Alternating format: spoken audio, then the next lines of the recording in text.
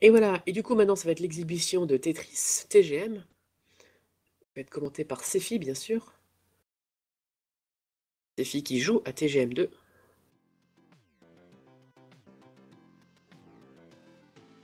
Je ne sais pas s'il va me euh, rejoindre du coup.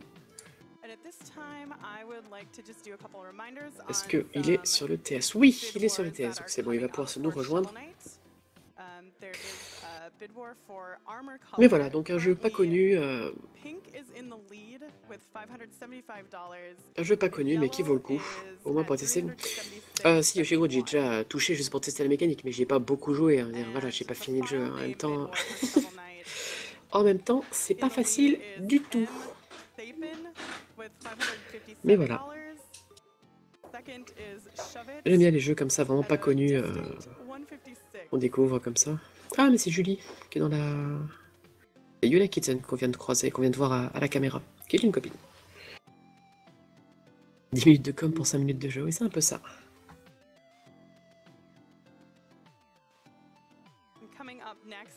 Du coup, l'exhibition TGM, après euh, Shovel Knight derrière, puis on attaquera le bloc Megaman, en commençant par Megaman Unlimited, le fameux jeu fangame sorti euh, il y a deux ans de mémoire.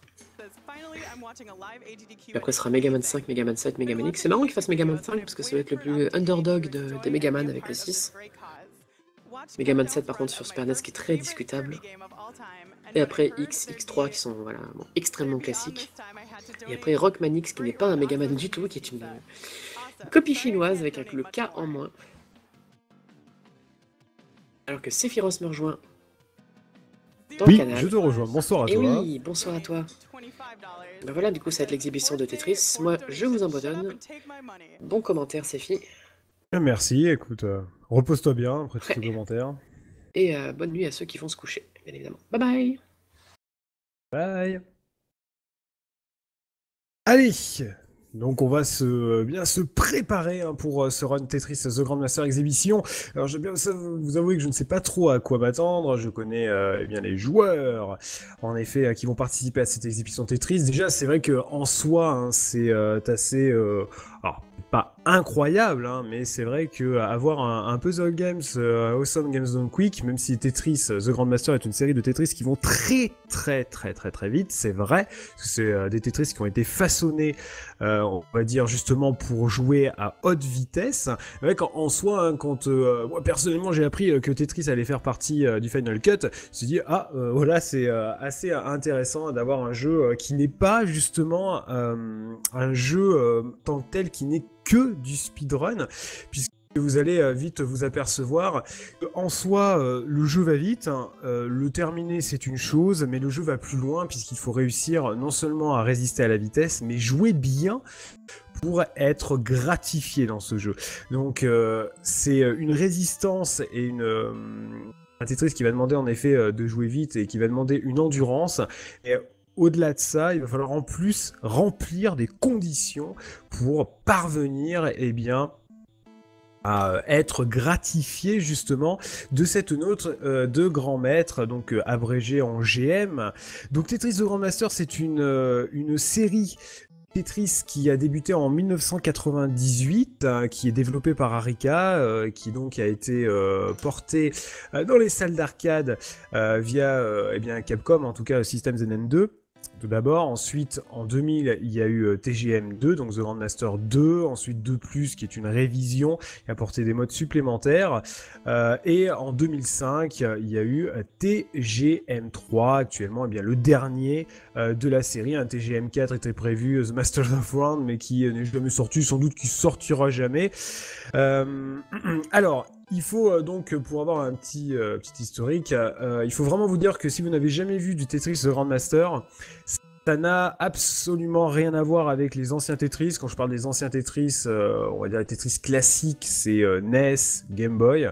Il y a en effet des particularités à TGM, vous allez vite vous en rendre compte. Et ce n'est pas non plus comparable au Tetris, on va dire, moderne, c'est-à-dire qu'utilise le système de rotation, le, dernier qui s'appelle le Super Rotation System, que vous pouvez retrouver dans les Tetris Friends, donc tout ce qui est Tetris Versus. Qu'est-ce qu'il y a d'autre? Bah, Puyo par exemple, Puyo Puyo Tetris donc euh, Tetris New Century et d'autres euh, d'autres euh, Tetris obscurs, donc on va dire qui font partie des derniers nés. En fait, Tetris TGM et au début est une sorte de potage du Tetris de Sega, qui était lui aussi sorti en arcade, auquel on a rajouté des particularités, notamment le fait ben, que va avoir une vitesse qui va vraiment évoluer euh, et qui, euh, qui, va être, qui va être très très euh, importante dans le jeu, mais on a pensé aussi un système de construction en fonction de ça et permettre notamment des ascensions de pièces. Alors maintenant les ascensions de pièces qui, qui sont, on va dire, classiques, même si dans Tetris The Grandmaster elles, sont, elles se réalisent pas comme dans les Tetris modernes. Mais voilà, on a pris donc le système de rotation Sega, on a ajouté euh, tout ce qui est donc euh, début de ce qu'on appelle wall kicks et les insertions qui ont été modifiés par la suite pour avoir euh, donc un peu plus tard donc les Tetris modernes. Mais voilà, c'est un petit peu né dans un dans un mélange de genres de Tetris, donc c'est assez intéressant. Faut savoir que euh, aujourd'hui c'est assez codifié un Tetris. Hein. Il existe ce qu'on appelle la Tetris Guideline, qui grosso modo est un ensemble de règles qui vous dit euh, comment réaliser un Tetris pas trop mauvais. Euh, vous connaissez euh, donc sans doute hein, le créateur. Euh, donc alors le créateur présumé parce qu'on on pense très certainement qu'il n'était pas seul hein, avec Sepadjinov à avoir créé ce jeu et le mettre au point. donc lui, bah, c'est une des figures de proue de la Tetris Company. Donc il gère hein, justement le fait d'avoir le droit d'adapter un Tetris ou non euh, sur telle ou telle plateforme. C'est Ubisoft hein, qui a le droit de faire avec Tetris euh, Ultimate. Euh, mais euh, voilà, il n'y a pas que lui, il y a Egg Rangers euh, aussi, donc qui est à la tête de la Tetris Company, et eux, ce sont les deux fleurons, voilà, qui vont mettre en avant, qui vont faire la pub. Et puis derrière, en fait, on a une compagnie qui s'occupe de développer les jeux Tetris, qui est donc bah, tenue par la fille de Egg Rangers actuellement, puisque Egg Rangers disait que c'était un petit peu tôt de travail pour lui. Et là, en fait, on a toute une gamme, enfin tout un ensemble de gens qui vont s'occuper plus particulièrement du développement et des aspects techniques. Et ensuite, donc, suivant l'éditeur, eh bien, on va faire des accords pour pouvoir sortir une version de Tetris plus ou moins bien. Hein, parce que ça va vraiment dépendre des fois, il y a des Tetris qui vont être bien pensés. Et euh, donc les Tetris Guideline, ben, petit à petit, ont incorporé euh, les différentes euh, versions de Tetris qui sont sorties et on voilà, ont décidé de rester sur du Super Rotation System, ce qui a obligé Tetris The Grandmaster 3 d'ailleurs justement à proposer deux systèmes de rotation. Un système de rotation classique, donc qui est issu de celui des TGM précédents, et un système Word qui lui ressemble en fait plus à ce qu'on va trouver dans les Super Rotation System actuels. Donc là, l'exhibition, euh, on va voir un petit peu en quoi elle consistait. Je pense qu'on va avoir différents euh, défis, un petit peu, euh, un petit peu de tout. Alors, c'est vrai que pour cette exhibition, il va y avoir pas loin des meilleurs joueurs hors Japon. Euh, donc il y aura un Français hein, qui, euh, qui est Qlex, hein, qui est euh, donc un des rares joueurs français à être Grandmaster. Alors surtout sur le 2, puisque pour être Grandmaster sur le 1, ce n'est pas vraiment un souci, hein, c'est à la portée de tous, il faut juste un petit peu s'acharner sur le titre. Par contre, à partir du 2, ça devient excessivement difficile, et le 3, on est alors là dans des sommets. Euh, qui, euh, qui ne concerne que quelques personnes qui peuvent euh, atteindre un tel niveau. Donc Ulex est GM sur TGM2. Bon, c'est le cas de toute façon de la plupart des personnes qui vont faire partie de cette exhibition. Alors une exhibition qui a été repoussée puisque d'après ce que j'ai cru comprendre, on a eu du mal à réunir tous les joueurs au même endroit pour que tout le monde soit là. Donc normalement, il devrait avoir Kitaru qui est aussi un excellent joueur de TGM. Bon, de tous les TGM, TGM 2 bien sûr et 3. Kevin aussi DDR a d'ailleurs complété euh, pour la première fois il n'y a pas très longtemps. Euh, je pense qu'on en verra le mode Chiracé de TGM3. Donc voilà, c'est pour vous dire qu'on va quand même avoir euh, vraiment un panel de joueurs pour des joueurs hors Japon vraiment très très fort. Peut-être manque à l'appel donc Jago qui est sans doute le meilleur joueur, le meilleur joueur français encore à l'heure actuelle. Et puis au niveau, on va dire hors Japon Japon, Nahu, qui est un joueur argentin et qui est excessivement aussi fort et très performant, notamment sur le 3, qui a été le premier joueur, je crois, hors Japon, si je dis pas de bêtises, à compléter le, le. Euh, on en reparlera, qui est un mode euh, d'endurance, mais à très très haute vitesse, assez, assez spécial. On en reparlera si euh, on, le voit.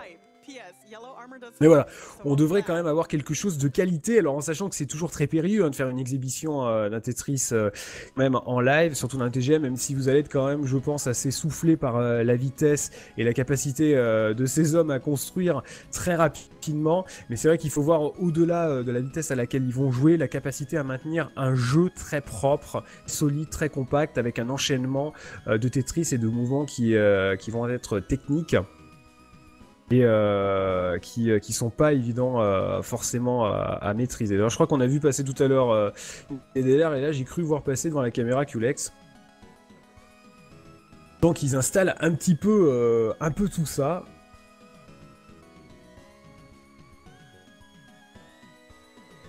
Alors c'est vrai que voilà TGM c'est c'est une série de jeux qui a été pensée pour jouer à vitesse, bien sûr aussi euh, uniquement euh, arcade hein, euh, dans, un, premier temps, puisqu'il y a eu un seul portage console qui est le, TGM Ace qui est sorti sur 360 Jap, qui est à éviter, qui est une sorte de, mix. C'est quoi ce sosie là de, Mister MV sur lequel ils sont en train de nous faire un zoom? Et qui, est une version qu'il faut éviter. donc des jeux, comme je disais, principalement dédiés, voire même entièrement dédiés aux salles d'arcade avec donc euh, bah, une jouabilité qui va avec, c'est-à-dire qu'il faut apprendre à y jouer euh, plus ou moins, on va dire, avec le stick et trois boutons, parce que ça va vraiment euh, être important d'utiliser ces commandes-là, notamment pour rentrer tout ce qu'il y a à rentrer et pouvoir profiter de tout ce que peut offrir le jeu.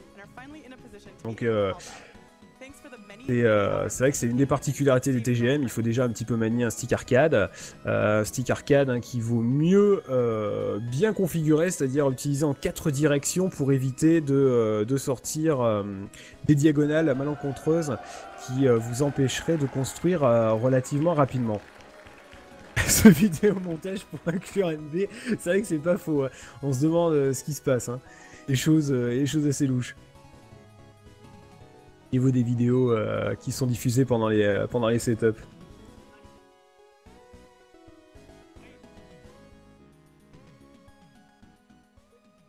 Donc il y a encore, euh, il y a encore pas mal d'activités autour, des TGM, même s'il est, vous voyez, le premier a largement plus, de 10 ans. Il y a encore une communauté de joueurs assez férus. il y a des tournois, notamment chaque mois à la salle Kodaira.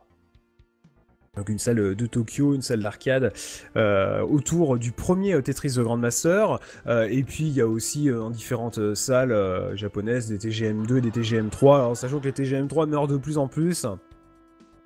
Le TGM3 a été, sorti sur un système Taito Type X, sorte de gros PC à l'intérieur d'une borne 31 euh, kHz.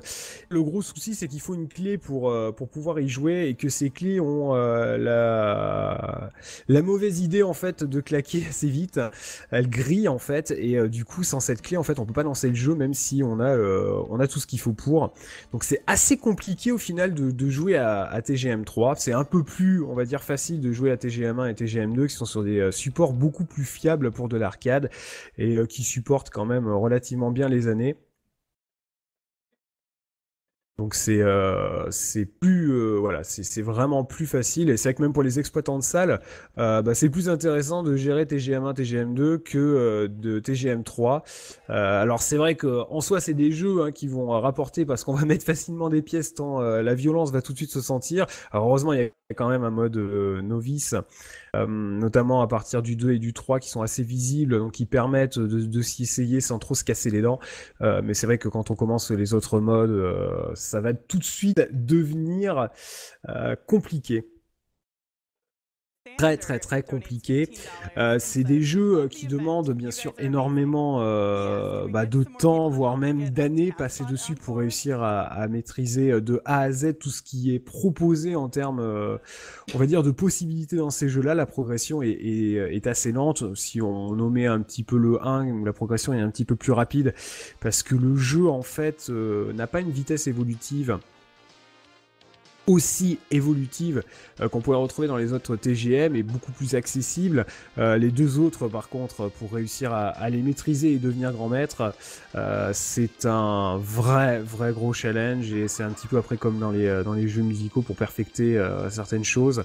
on peut y passer des années, des années, tant la courbe de progression donne de quoi faire. Et il y a vraiment encore, euh, il y a des gens hein, qui essayent, qui essayent euh, de d'essayer de, bah, qui essayent justement d'obtenir le meilleur rang, d'être grand maître. Et euh, on verra qu'avec les conditions qu'il faut relever, notamment dans le 2 et dans le 3, c'est ça relève du, véritable exploit et déjà d'être un joueur chevronné, ne serait-ce que sur le, le, premier, parce que même s'il est accessible, il y a des joueurs qui vont très très loin, ne serait-ce qu'avec le premier TGM, qui arrivent à, à pousser le jeu euh, très loin pour obtenir des temps très très euh, petits en soi pour euh, devenir grand maître. Alors le titre de grand maître, on peut l'obtenir. alors dans le 1, de toute façon, il y a quasiment qu'un mode de jeu. Enfin, il y a que le master mode. Il y a que le master mode en fait. Dans le 1, on peut, il y a un petit peu de, euh, de jeu à deux et choses comme ça, mais c'est vrai que le, mode euh, le plus le plus joué, c'est le master mode. Après, dans le 2 et le 3, il y a eu donc euh, d'autres modes qui ont été développés, notamment, enfin, il y a aussi un mode 20G d'ailleurs dans le premier, donc un mode qui commence à, vitesse max dès le début. et dans le dans le 2 et dans le 3, on a rajouté de plus en plus de modes de jeu, notamment donc des modes de survie très difficiles.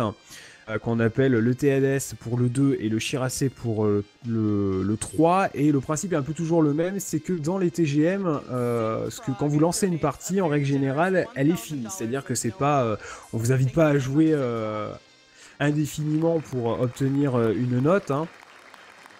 Ça se passe pas comme ça. En fait, vous avez toujours 999 euh, levels à compléter. Alors, ça va un petit peu dépendre quand même du mode, mais euh, ça va se passer toujours de cette manière-là, en sachant que euh, les levels vont évoluer au fur et à mesure qu'une pièce apparaît, mais également au fur et à mesure que vous faites des lignes. Donc, ça sera à prendre en compte lorsque vous jouez. Et ensuite, il y a différentes règles et différentes conditions, surtout à respecter pour faire évoluer la note.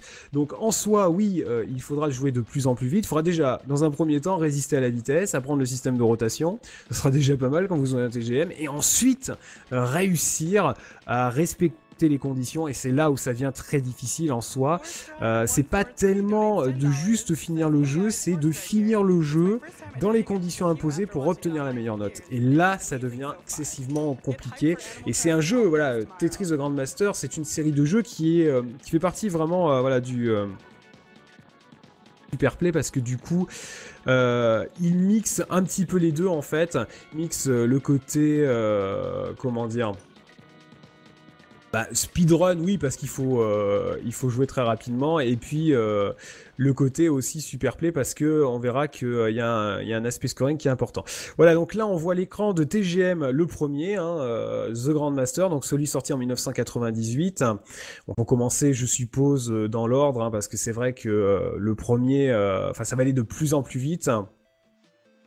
Alors le joueur qui est à gauche, c'est Kevin Eder. Par contre, le joueur qui est à droite, c'est peut-être... J'ai plus de doutes sur le joueur qui est à droite en fait là il marque Friends. Donc là on voit en fait on voit une tête avec des lunettes, c'est Qlex qui est juste à côté de Kevin Eder, donc il se trouve complètement euh, sur l'écran à gauche, on voit juste sa petite tête qui dépasse. Donc à côté de lui Kevin Eder. Et après, euh, c'est peut-être Color Shift en fait, parce que Color Shift je ne l'ai jamais vu. Alors je ne sais pas trop hein, ce qu'ils vont euh, nous proposer. Et par contre celui qui est à côté, à côté de lui avec la veste rouge, enfin à côté de la personne en blanc, c'est Kitaru.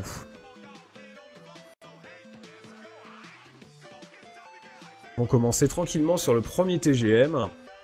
Alors je ne sais pas ce qu'ils ont choisi euh, de faire. Est-ce qu'ils vont faire de. Je pense qu'ils vont. Euh, ils ont prévu au moins de nous faire de la coop. Il y a aussi un mode, un mode coop. Donc euh, c'est un, double en fait où vous devez, devez construire de façon synchronisée en fait sur une aire de jeu qui est étendue sur un écran de joueurs. C'est assez intéressant, mais ça demande beaucoup de comment dire beaucoup d'être attentif au jeu de l'autre et de connaître ses habitudes aussi de construction. Vous pouvez pas faire spécialement ça comme ça. Alors que euh, techniciens sont en train d'installer euh, les micros. Pour ceux qui voudront parler pendant qu'ils sont en train de jouer. Alors je pense qu'ils vont se commenter entre eux, hein, parce que en règle générale, jouer à TGM et parler en même temps, c'est excessivement dangereux. Là, on nous montre un petit peu, vous voyez, dans le, justement dans la démonstration, les, les, rotations qui sont possibles de faire et la manière dont vous devez euh, gérer le jeu quand il est à sa vitesse maximum, c'est-à-dire ce qu'on appelle le 20G. Euh, alors c'est vrai qu'on pourrait faire un petit historique, hein, euh, tout fonctionne Tetris autour euh, du chiffre 4, un Tetris ça veut dire 4 en grec. Euh, les tétraminos donc sont toutes des pièces qui sont formées euh, de carrés, quatre carrés qui sont rangés de manière différente. De jeu, elle aussi, elle fait donc 20 par 10, mais au final, elle se découpe en fait en petits carrés. Quand on dit 20 par 10, c'est 20 petits carrés en fait euh, qui sont en hauteur et 10 carrés qui sont en largeur pour composer l'aire de jeu. Et avec tout ça, eh bien, il va falloir composer pour réussir à euh, déposer les pièces au mieux alors que la vitesse ne va cesser d'augmenter. Et quand on parle de 20 G, en fait, c'est qu'en une frame, la pièce a parcouru justement 20 de ces petits carrés en hauteur, donc c'est-à-dire toute la hauteur euh, de votre euh, de aire de jeu. Donc vous avez l'impression, et c'est pas vous avez l'impression, mais en fait elle apparaît directement sur la pile ou sur la base de l'aire de jeu si vous n'avez rien ou si vous avez vidé votre écran. Donc c'est assez surprenant au début. Euh, d'arriver à cette vitesse-là. Euh, il faut donc mettre en place euh, des stratégies pour réussir à ne pas bloquer son jeu. voilà, donc c'est ça, c'est bien Color hein, qui est. Alors, sauf que les noms sont pas dans le bon ordre, ils se sont un petit peu plantés, donc il faut retourner en fait. Hein. C'est-à-dire qu'il faut mettre Qlex, Kevin DDR, Color Kitaru pour avoir les, les pseudos qui correspondent à l'ordre des personnes que vous voyez à l'écran. Euh, c'est-à-dire de gauche à droite. Donc de gauche à droite, vous avez Qlex, Kevin DDR, Chief et Kitaru. Alors qu'on est toujours dans les input tests du côté de l'écran gauche. Setup qui dure, qui dure.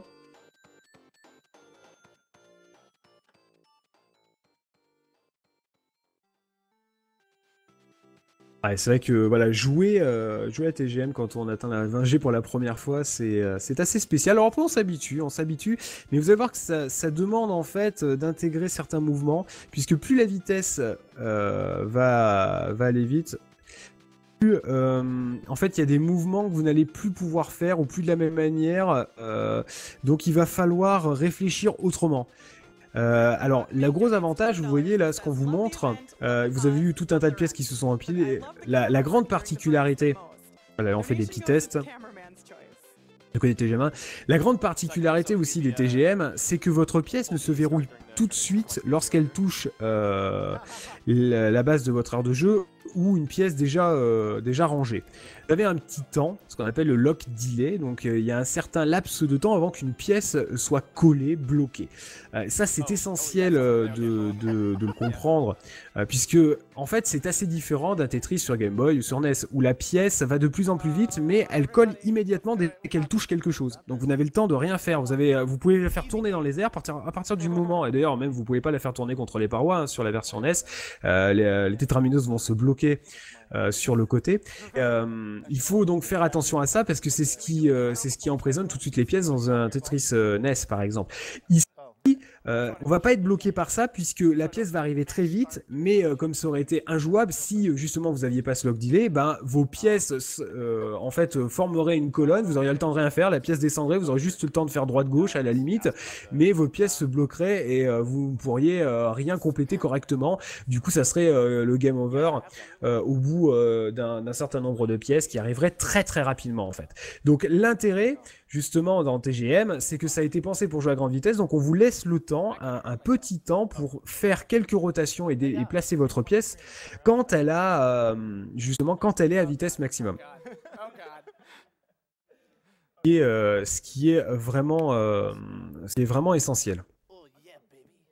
que sinon on pourrait absolument rien faire. Elle en fait coucou à la caméra. Regarde la caméra. Tu passes à la télé, tu passes à la télé, tu passes à la GDQ. Ah, c'est pas le moment de, tout foirer.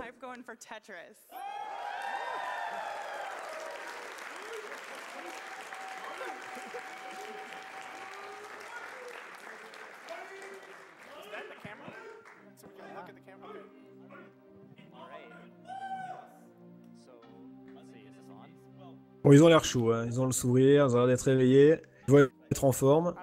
Alors je ne sais pas ce qu'ils vont faire, est-ce qu'ils vont faire une petite race sur le Master Mode de TGM1 Voilà, ils se présentent. Hein. Deux autres joueurs derrière.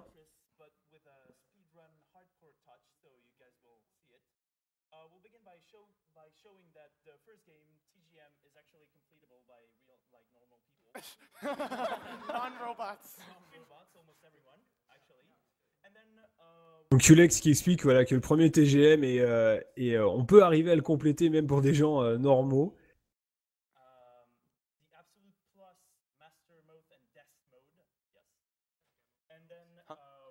Après, il dit qu'il présentera donc TGM 2+, où là, voilà, comme je vous disais tout à l'heure, il y a un cran qui, qui est fait, hein, et pour être grand maître, à la différence du premier, bon bah là, il faut commencer à être un peu un extraterrestre. Et c'est vrai que déjà, vous allez voir euh, à vitesse, quand ça commence à jouer, à bien jouer euh, fortement à TGM1, c'est déjà impressionnant. Alors là donc euh, voilà, ils vous montrent, euh, donc ils font une démonstration très euh, didactique, ils vous montrent la vitesse de base du jeu. Donc vous voyez là la pièce descend très très très très lentement. heureusement en fait dans TGM1 vous pouvez la faire descendre un tout petit peu plus vite et lui faire faire des rotations, mais la faire descendre un tout petit peu plus vite en faisant bas. Mais vous n'avez que ça, vous n'avez pas de sonic drop. Donc vous avez un soft drop, c'est-à-dire une manière de faire descendre la pièce un peu plus rapidement, mais ce qui va avoir pour conséquence de la coller immédiatement sur l'aire de jeu. Donc voilà, là il montre euh, les quelques rotations qu'on peut faire, en sachant que ça se joue sur trois boutons, Tetris TGM, c'est-à-dire vous avez un bouton A qui va vous permettre de faire tourner la pièce sur la gauche, un bouton B qui va vous permettre de la faire tourner sur la droite, et un bouton C qui a les mêmes propriétés que le bouton A, faire tourner la pièce sur la gauche, qui va permettre d'enchaîner très rapidement en fait, euh, donc les euh, deux fois un quart de tour, vous allez pouvoir faire un demi-tour en faisant ASC, tapotant ASC rapidement, euh, ce qui va euh, permettre de poser certaines pièces directement sur la face plate. autre particularité euh, des, Tetris The Grandmaster, comparé au Tetris moderne, les pièces apparaissent en tout cas, alors quand c'est une pièce où il y a un encoche, là comme là vous voyez, vous voyez par exemple qu'il y a un J, le J, euh, c'est on utilise pardon euh, en effet euh, des noms de lettres pour citer les pièces. En fait, c'est plus rapide. Donc la barre c'est I. là, ce que vous voyez, la pièce qui arrive, donc bah, c'est un c'est un S. Là, vous avez un L. Le J, c'est la pièce bleue. Le carré, donc c'est le O. et vous vous remarquez aussi au passage que chaque pièce a une couleur bien bien différente. Donc on sait pas quand est-ce qu'ils vont le montrer. Alors là, on marque, par exemple, vous voyez qu'il y a un endroit où on pourrait mettre un T. Mais euh, ça sert à rien, on pourra rien insérer tant que la vitesse va pas être décuplée. Une autre, euh, donc là il montre, euh, ah oui, il vous montre un T-spin, je pense. Non, je sais même pas ce qu'il était en train de faire en fait. je sais pas à quoi il est en train de s'amuser. Je pense qu'il il essaye de vraiment de, de, montrer que la vitesse de base est assez lente. Elle va évoluer au fur et à mesure des levels. Et je pense que de commencer à jouer. Que là, on a compris qu'au début, ça allait pas très très vite. Donc au fur et à mesure des levels, vous voyez la, vitesse euh, de chute des pièces, hein, là qui est très lente pour moi parce qu'on est au level 1, et eh ben elle va continuellement augmenter et dans TGM1 elle aura atteint son max au level 500. Il n'y a pas d'autres paramètres de vitesse qui vont bouger dans ce TGM1 à la différence de TGM2+, euh, enfin de TGM2 euh, et de TGM3. ce qui fait que en soi, on va être un, petit peu, c'est sûr, désarçonné au début quand on va faire le jeu, mais à partir de 500, ça ne va plus bouger. Et donc du coup, ça va être plus une épreuve d'endurance et d'optimisation de, euh, de construction. Alors, on espère quand même qu'ils vont commencer à nous montrer quelque chose. Pour ce TGM, plutôt que nous montrer les, euh, les écrans. En plus, ils ont qu'une heure de démonstration, alors il va falloir qu'ils se mènent. Hein. Alors ça y est, ça se prépare, on est en free play, tout va bien. Alors qu'est-ce qu'ils vont faire? Je pense qu'ils vont faire une petite race. Hein. Je pense qu'ils essayent de faire une race pour démarrer tous en même temps, c'est ça J'attends un décompte.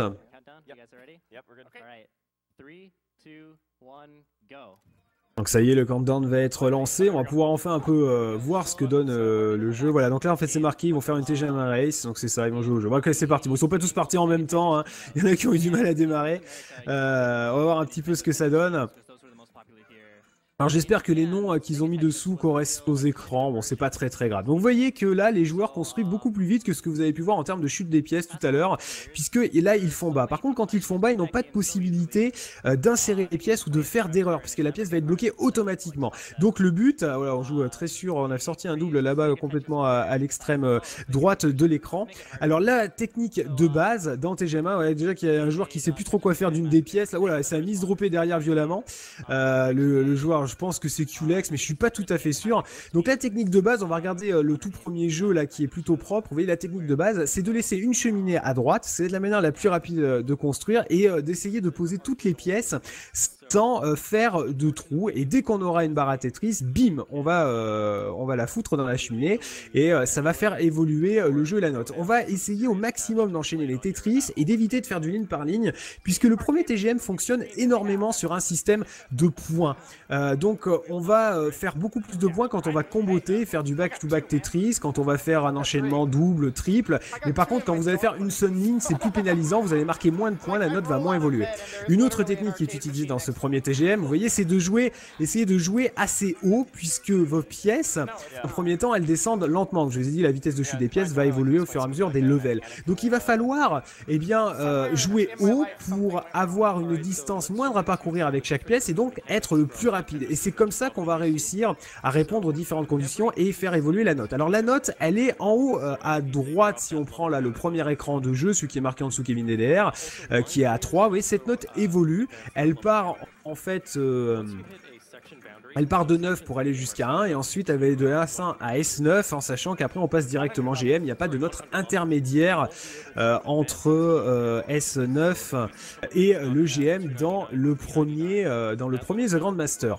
Alors comment ça fonctionne un petit peu plus précisément? Donc là vous voyez quand même que les joueurs arrivent à construire assez vite, la vitesse évolue. Alors par contre la vitesse va ralentir. Vous voyez que si vous prenez le troisième écran en partant de la de la de la gauche. Là, il tombe à 200, le joueur, il est au level 200, et au level 200, il y a un ralentissement comme s'il était en fait de nouveau au level 2 enfin grosso modo entre 0 et 2. Euh, ce qui fait que ici, il ne peut plus utiliser l'insertion des pièces, donc il va devoir faire euh, vraiment gaffe. Par contre, autour de 250, il aura retrouvé la vitesse de navigation qu'il avait juste avant euh, d'entamer le level 200, donc il va pouvoir de nouveau insérer des pièces. Alors c'est vrai que des insertions de pièces, j'ai pas surveillé s'il y en avait eu beaucoup. Pour moi, elles semblent, c'est vrai, assez, assez logiques, mais peut-être que pour vous, ça vous paraît assez bizarre des fois. Alors on n'a pas vu peut-être de mouvement ultra tricky en termes d'insertion de pièces encore. On peut vraiment laisser des encoches, même horizontale et réussir à compléter le jeu sans faire d'erreur. Puisque bien sûr, on va éviter de faire des carrés. Voilà, là par exemple, on voit une possibilité de T-spin sur le premier écran qui a tout de suite été euh, utilisé et rempli par euh, le joueur donc sur le sur la première euh, sur la première aire de jeu où on a pu voir et eh bien qu'il avait laissé l'espace pour un T-spin et il a inséré donc le T en le redressant et ensuite en lui faisant faire des rotations, il l'a mis en place et ça c'est une possibilité. Donc là vous voyez que ça commence à jouer de plus en plus vite. Je pense que tous les joueurs devraient compléter et obtenir leur GM. Ils sont déjà S2, S1, S2, S1, vous voyez. Alors il y a quand même quelques conditions euh, pour euh, ce premier TGM pour euh, réussir à être grand maître. Il n'y en a pas beaucoup, mais il faut quand même les respecter. C'est-à-dire que quand vous atteignez le level 300, il faut être grade 1, donc avoir complété 12 000 points. ça fonctionne beaucoup en points le premier TGM. On verra que c'est pas du tout le cas des autres TGM, c'est un peu moins le cas en tout cas. Et c'est au level 300, il faut avoir complété ce grade 1 en étant en dessous des 4 minutes 15. Ensuite, le level 500 qui correspond au 20G, vitesse maximum de chute des pièces, je le rappelle, il faut atteindre le grade S4, soit 40 000 points sous les 7 minutes 30 ou égal à 7 minutes 30. Et enfin, il faut atteindre les 126 000 points au level 999 en sachant qu'il faut les avoir un petit peu avant et donc être S9 avant l'apparition euh, euh, de la complétion du jeu. Vous voyez que donc vous devez euh, terminer bien le jeu avec ces compléter ces 999 levels le plus rapidement possible. Alors au début, hein, on va un petit peu peut-être diverser, on va avoir un peu du mal à compléter sous les, euh, sous les 13-30. Ça va assez vite venir normalement. une fois qu'on aura notamment apprivoiser le jeu à 20G.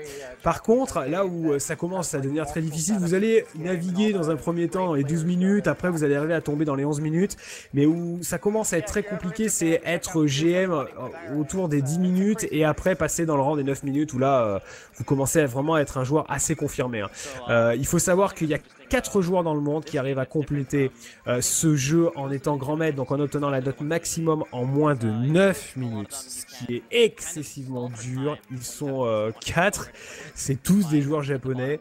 Euh, Esken, Meso, Ko et 777, 777 qui est sans doute le meilleur joueur euh, actuel de très loin sur le premier TGM euh, qui euh, boucle donc le GM une partie master en 8 minutes 48 ma mémoire est bonne. Donc là, euh, on a euh, le troisième écran partant de la gauche qui a atteint les 500, euh, le level 500.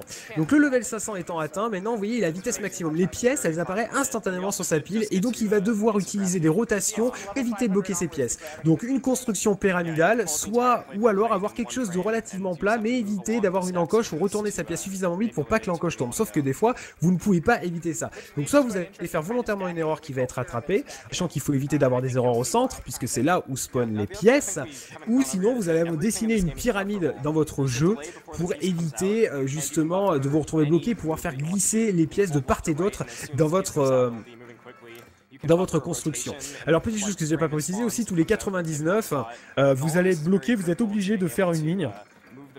Sinon le jeu ne va pas avancer, donc vous allez, par exemple, si vous êtes à 199 et que vous faites jamais une ligne, bah, il y a des pièces qui vont continuer d'apparaître, mais le level ne va jamais évoluer.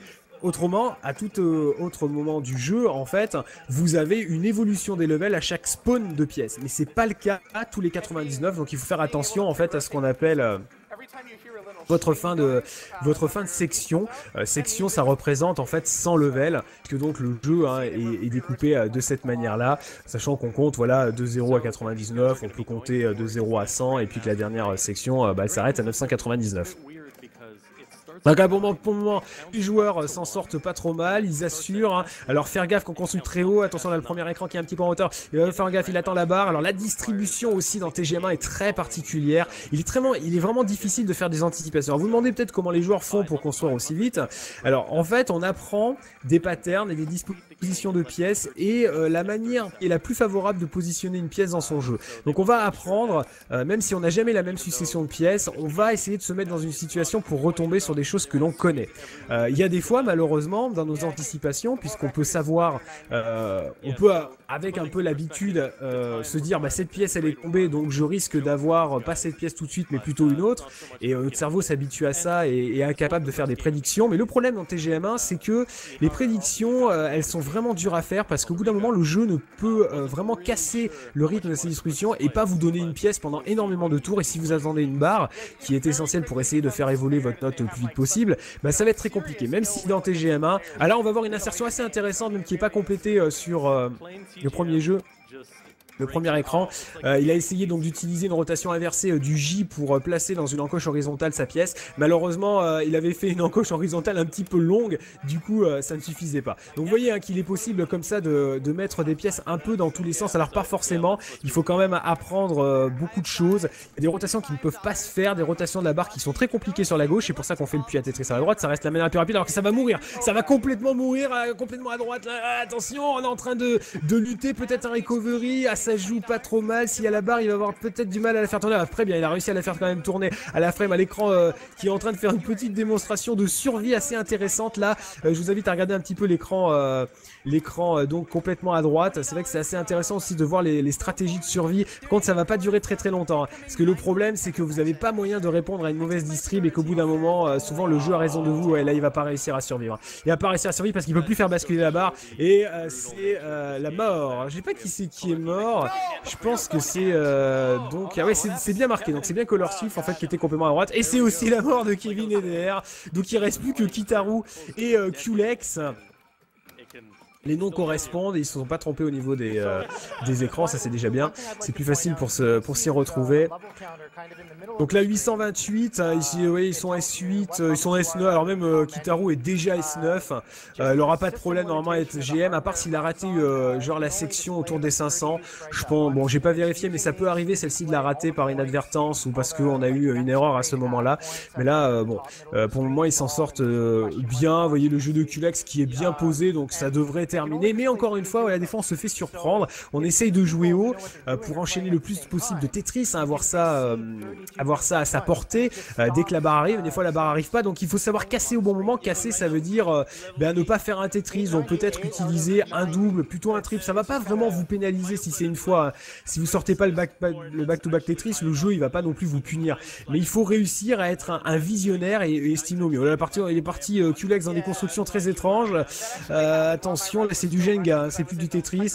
Il y en a un petit peu partout, ouais, il beaucoup de choses à compléter alors que Kitaro a mieux tenu son jeu.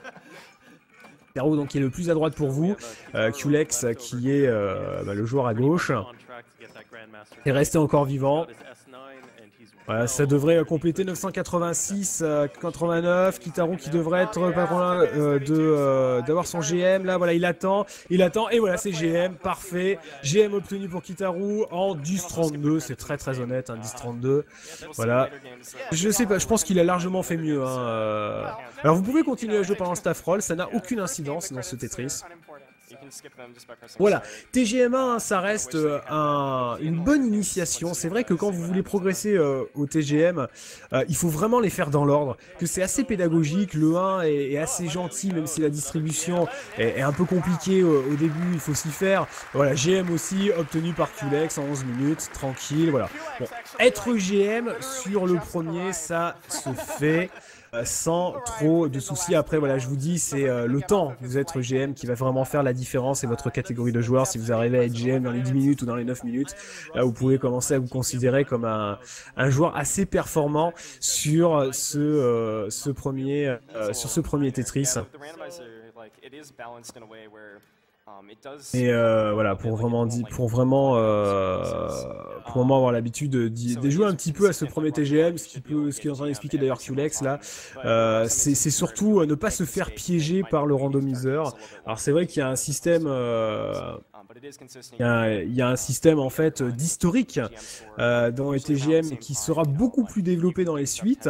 Et le premier, euh, alors il a ça, mais il y a des fois ça part un peu en couille et euh, il oublie carrément de corriger et de voyer des pièces. Le 2 et notamment dans le 3, ils ont fait de gros efforts et c'est vrai que dans le 3, on peut quasiment rarement s'en prendre à la distrib. Hein. C'est plus une erreur de gestion de son réservoir. Euh, puisqu'on a la possibilité de mettre une pièce en stock TGM3, euh, mais la distribution est vraiment très très soignée euh, dans TGM3. Donc alors je ne sais pas là ce qu'on va voir, est-ce qu'on va rester encore sur le TGM1 alors qu'on voit qu'on est en train de changer un petit peu le setup sur TGM2 et voilà, euh, comme on disait, ça apprend, ça permet d'apprendre euh, TGM1. Il est très très appréciable euh, ce TGM1. Et voilà, il, il reste quand même très sympa. Alors j'en ai pas parlé, c'est vrai que là c'était marqué, on a vu parler, on nous parle de d'IRS, donc l'Initial Rotation System. En effet, j'ai oublié de vous dire que lorsque vous construisez dans un Tetris, vous avez le moyen de, pré de charger les pièces ou de précharger les pièces, c'est-à-dire qu'avant même qu'elles spawn et qu'elles soient réellement actives dans votre être jeu, vous pouvez essayer euh, une rotation. Donc soit A, soit B, ou vous pouvez même imaginer C, mais ce sera plutôt soit A, soit B parce que c'est les euh, boutons sur lesquels vous allez être le plus réactif. On va utiliser en fait le C avec, euh, avec l'annuaire. On va plutôt utiliser donc index majeur sur les boutons A et B. Hein. Vous savez, on pose les trois doigts en fait sur les boutons des sticks. Et ensuite, on va pour tapoter utiliser l'index et l'annuaire pour euh, réussir à faire justement des switches à 180. Mais donc vous avez la possibilité de précharger un mouvement, ce qui va euh, vous éviter euh, d'avoir une pièce qui apparaît mal. C'est-à-dire que par exemple, vous avez vu que le J ou le L apparaissent en fait de manière horizontale avec l'encoche sur le bas. Par contre, mais vous pouvez en fait lutter contre ça en mettant debout la pièce quand elle va apparaître en fait dans l'air de jeu. Et ça, c'est vraiment pratique. Pour éviter de coincer justement les pièces dans son, euh, dans son jeu.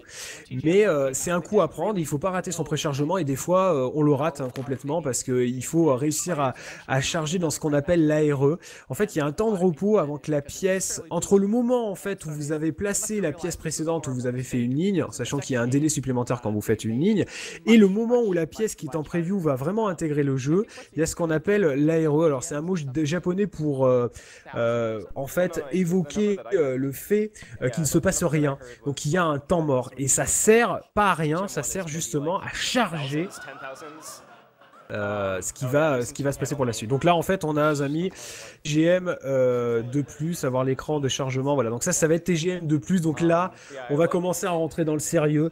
Euh, si jusqu'ici, vous dites, bon, TGM, c'est bien gentil, mais c'est pas très rapide, vous allez voir que c'est autre chose. Ah non, c'est toujours le premier, en fait. Ah, mais je me suis fait avoir, c'est toujours l'écran du premier. Vous voyez qu'il allait nous montrer le deuxième. Ah bah si, c'est bien le 2 alors. Ok, bah si, c'est bien le 2, donc c'est moi. C'est moi qui craque, c'est bien le 2. Donc, le 2+, alors ouais, il existe le 2. Bon, le 2, personne n'y joue. Il a des conditions différentes pour être GM et il a pas le mode TADS, donc on s'en tape. Donc c'est Kitaru qui va faire la démonstration sur TGM2, pas surpris, hein, c'est certainement, euh, certainement le joueur euh, parmi les 4 qui est le plus à l'aise. Euh, c'est sans doute le même, le meilleur des 4, hein, qui est Kitaru. Euh, vous avez peut-être pu le voir d'ailleurs parce qu'il participe euh, également euh, au, championnat de Tetris qui a lieu sur le Tetris NES, le classique, hein, qui a lieu chaque année à Portland depuis 4 ou 5 années. On, le voit souvent même s'il n'arrive pas à aller très loin parce que c'est vrai qu'il y a du très très gros niveau. mais voilà, c'est un joueur qui est excessivement fort. Et là sur le panel des 4 joueurs, c'est sans sans doute le meilleur. Donc il va nous faire une démonstration sur TGM2. Et alors TG, alors je sais, je sais pas ce qu'ils vont nous faire. Est-ce qu'ils vont nous faire une démonstration GM ou est-ce qu'ils vont nous faire une coop? Je sais pas parce que je vois qu'il y a Kevin à côté de lui. Donc là ils sont en train de se demander ah, qu'est-ce qu'on va vous présenter? Euh, est-ce que au final on vous fait un match de Street Fighter? Ils sont en train de se poser cette question. Euh, donc là. Euh, on est euh, donc on a, passé deux années, hein, TGM2 c'est les années 2000 et il y a eu pas mal d'évolutions sur TGM2, apparition d'un Sonic Drop. Alors Sonic Drop, la différence c'est que euh, vous avez une commande supplémentaire, c'est que quand vous faites haut avec le stick, votre pièce descend instantanément comme si elle était à 20G, sauf qu'elle ne se bloque pas. Pour la bloquer, plus vite vous pourrez faire bas, ou sinon vous pouvez attendre le lock auto qui va sortir au bout euh, d'un certain nombre de frames. Et donc, ce qui est euh, assez intéressant dans le jeu, c'est qu'on va pouvoir jouer à grande vitesse, même dans les petits levels.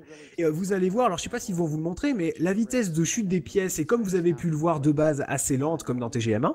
Sauf que quand vous utilisez le système de, euh, instant, Fall, on pourrait appeler ça comme ça, on l'appelle aussi comme ça maintenant, avec Tetris moderne, Instant Fall, avec le lock, donc vous faites sans cesse au bas, rentrant des directions entre temps, et vous euh, réussissez, voilà, putain, un PCB qui est passé au man Zab. Alors Zab, c'est un joueur japonais, mais qui, a, qui est connu pour être un, un gros bourrin et un joueur ultra rapide.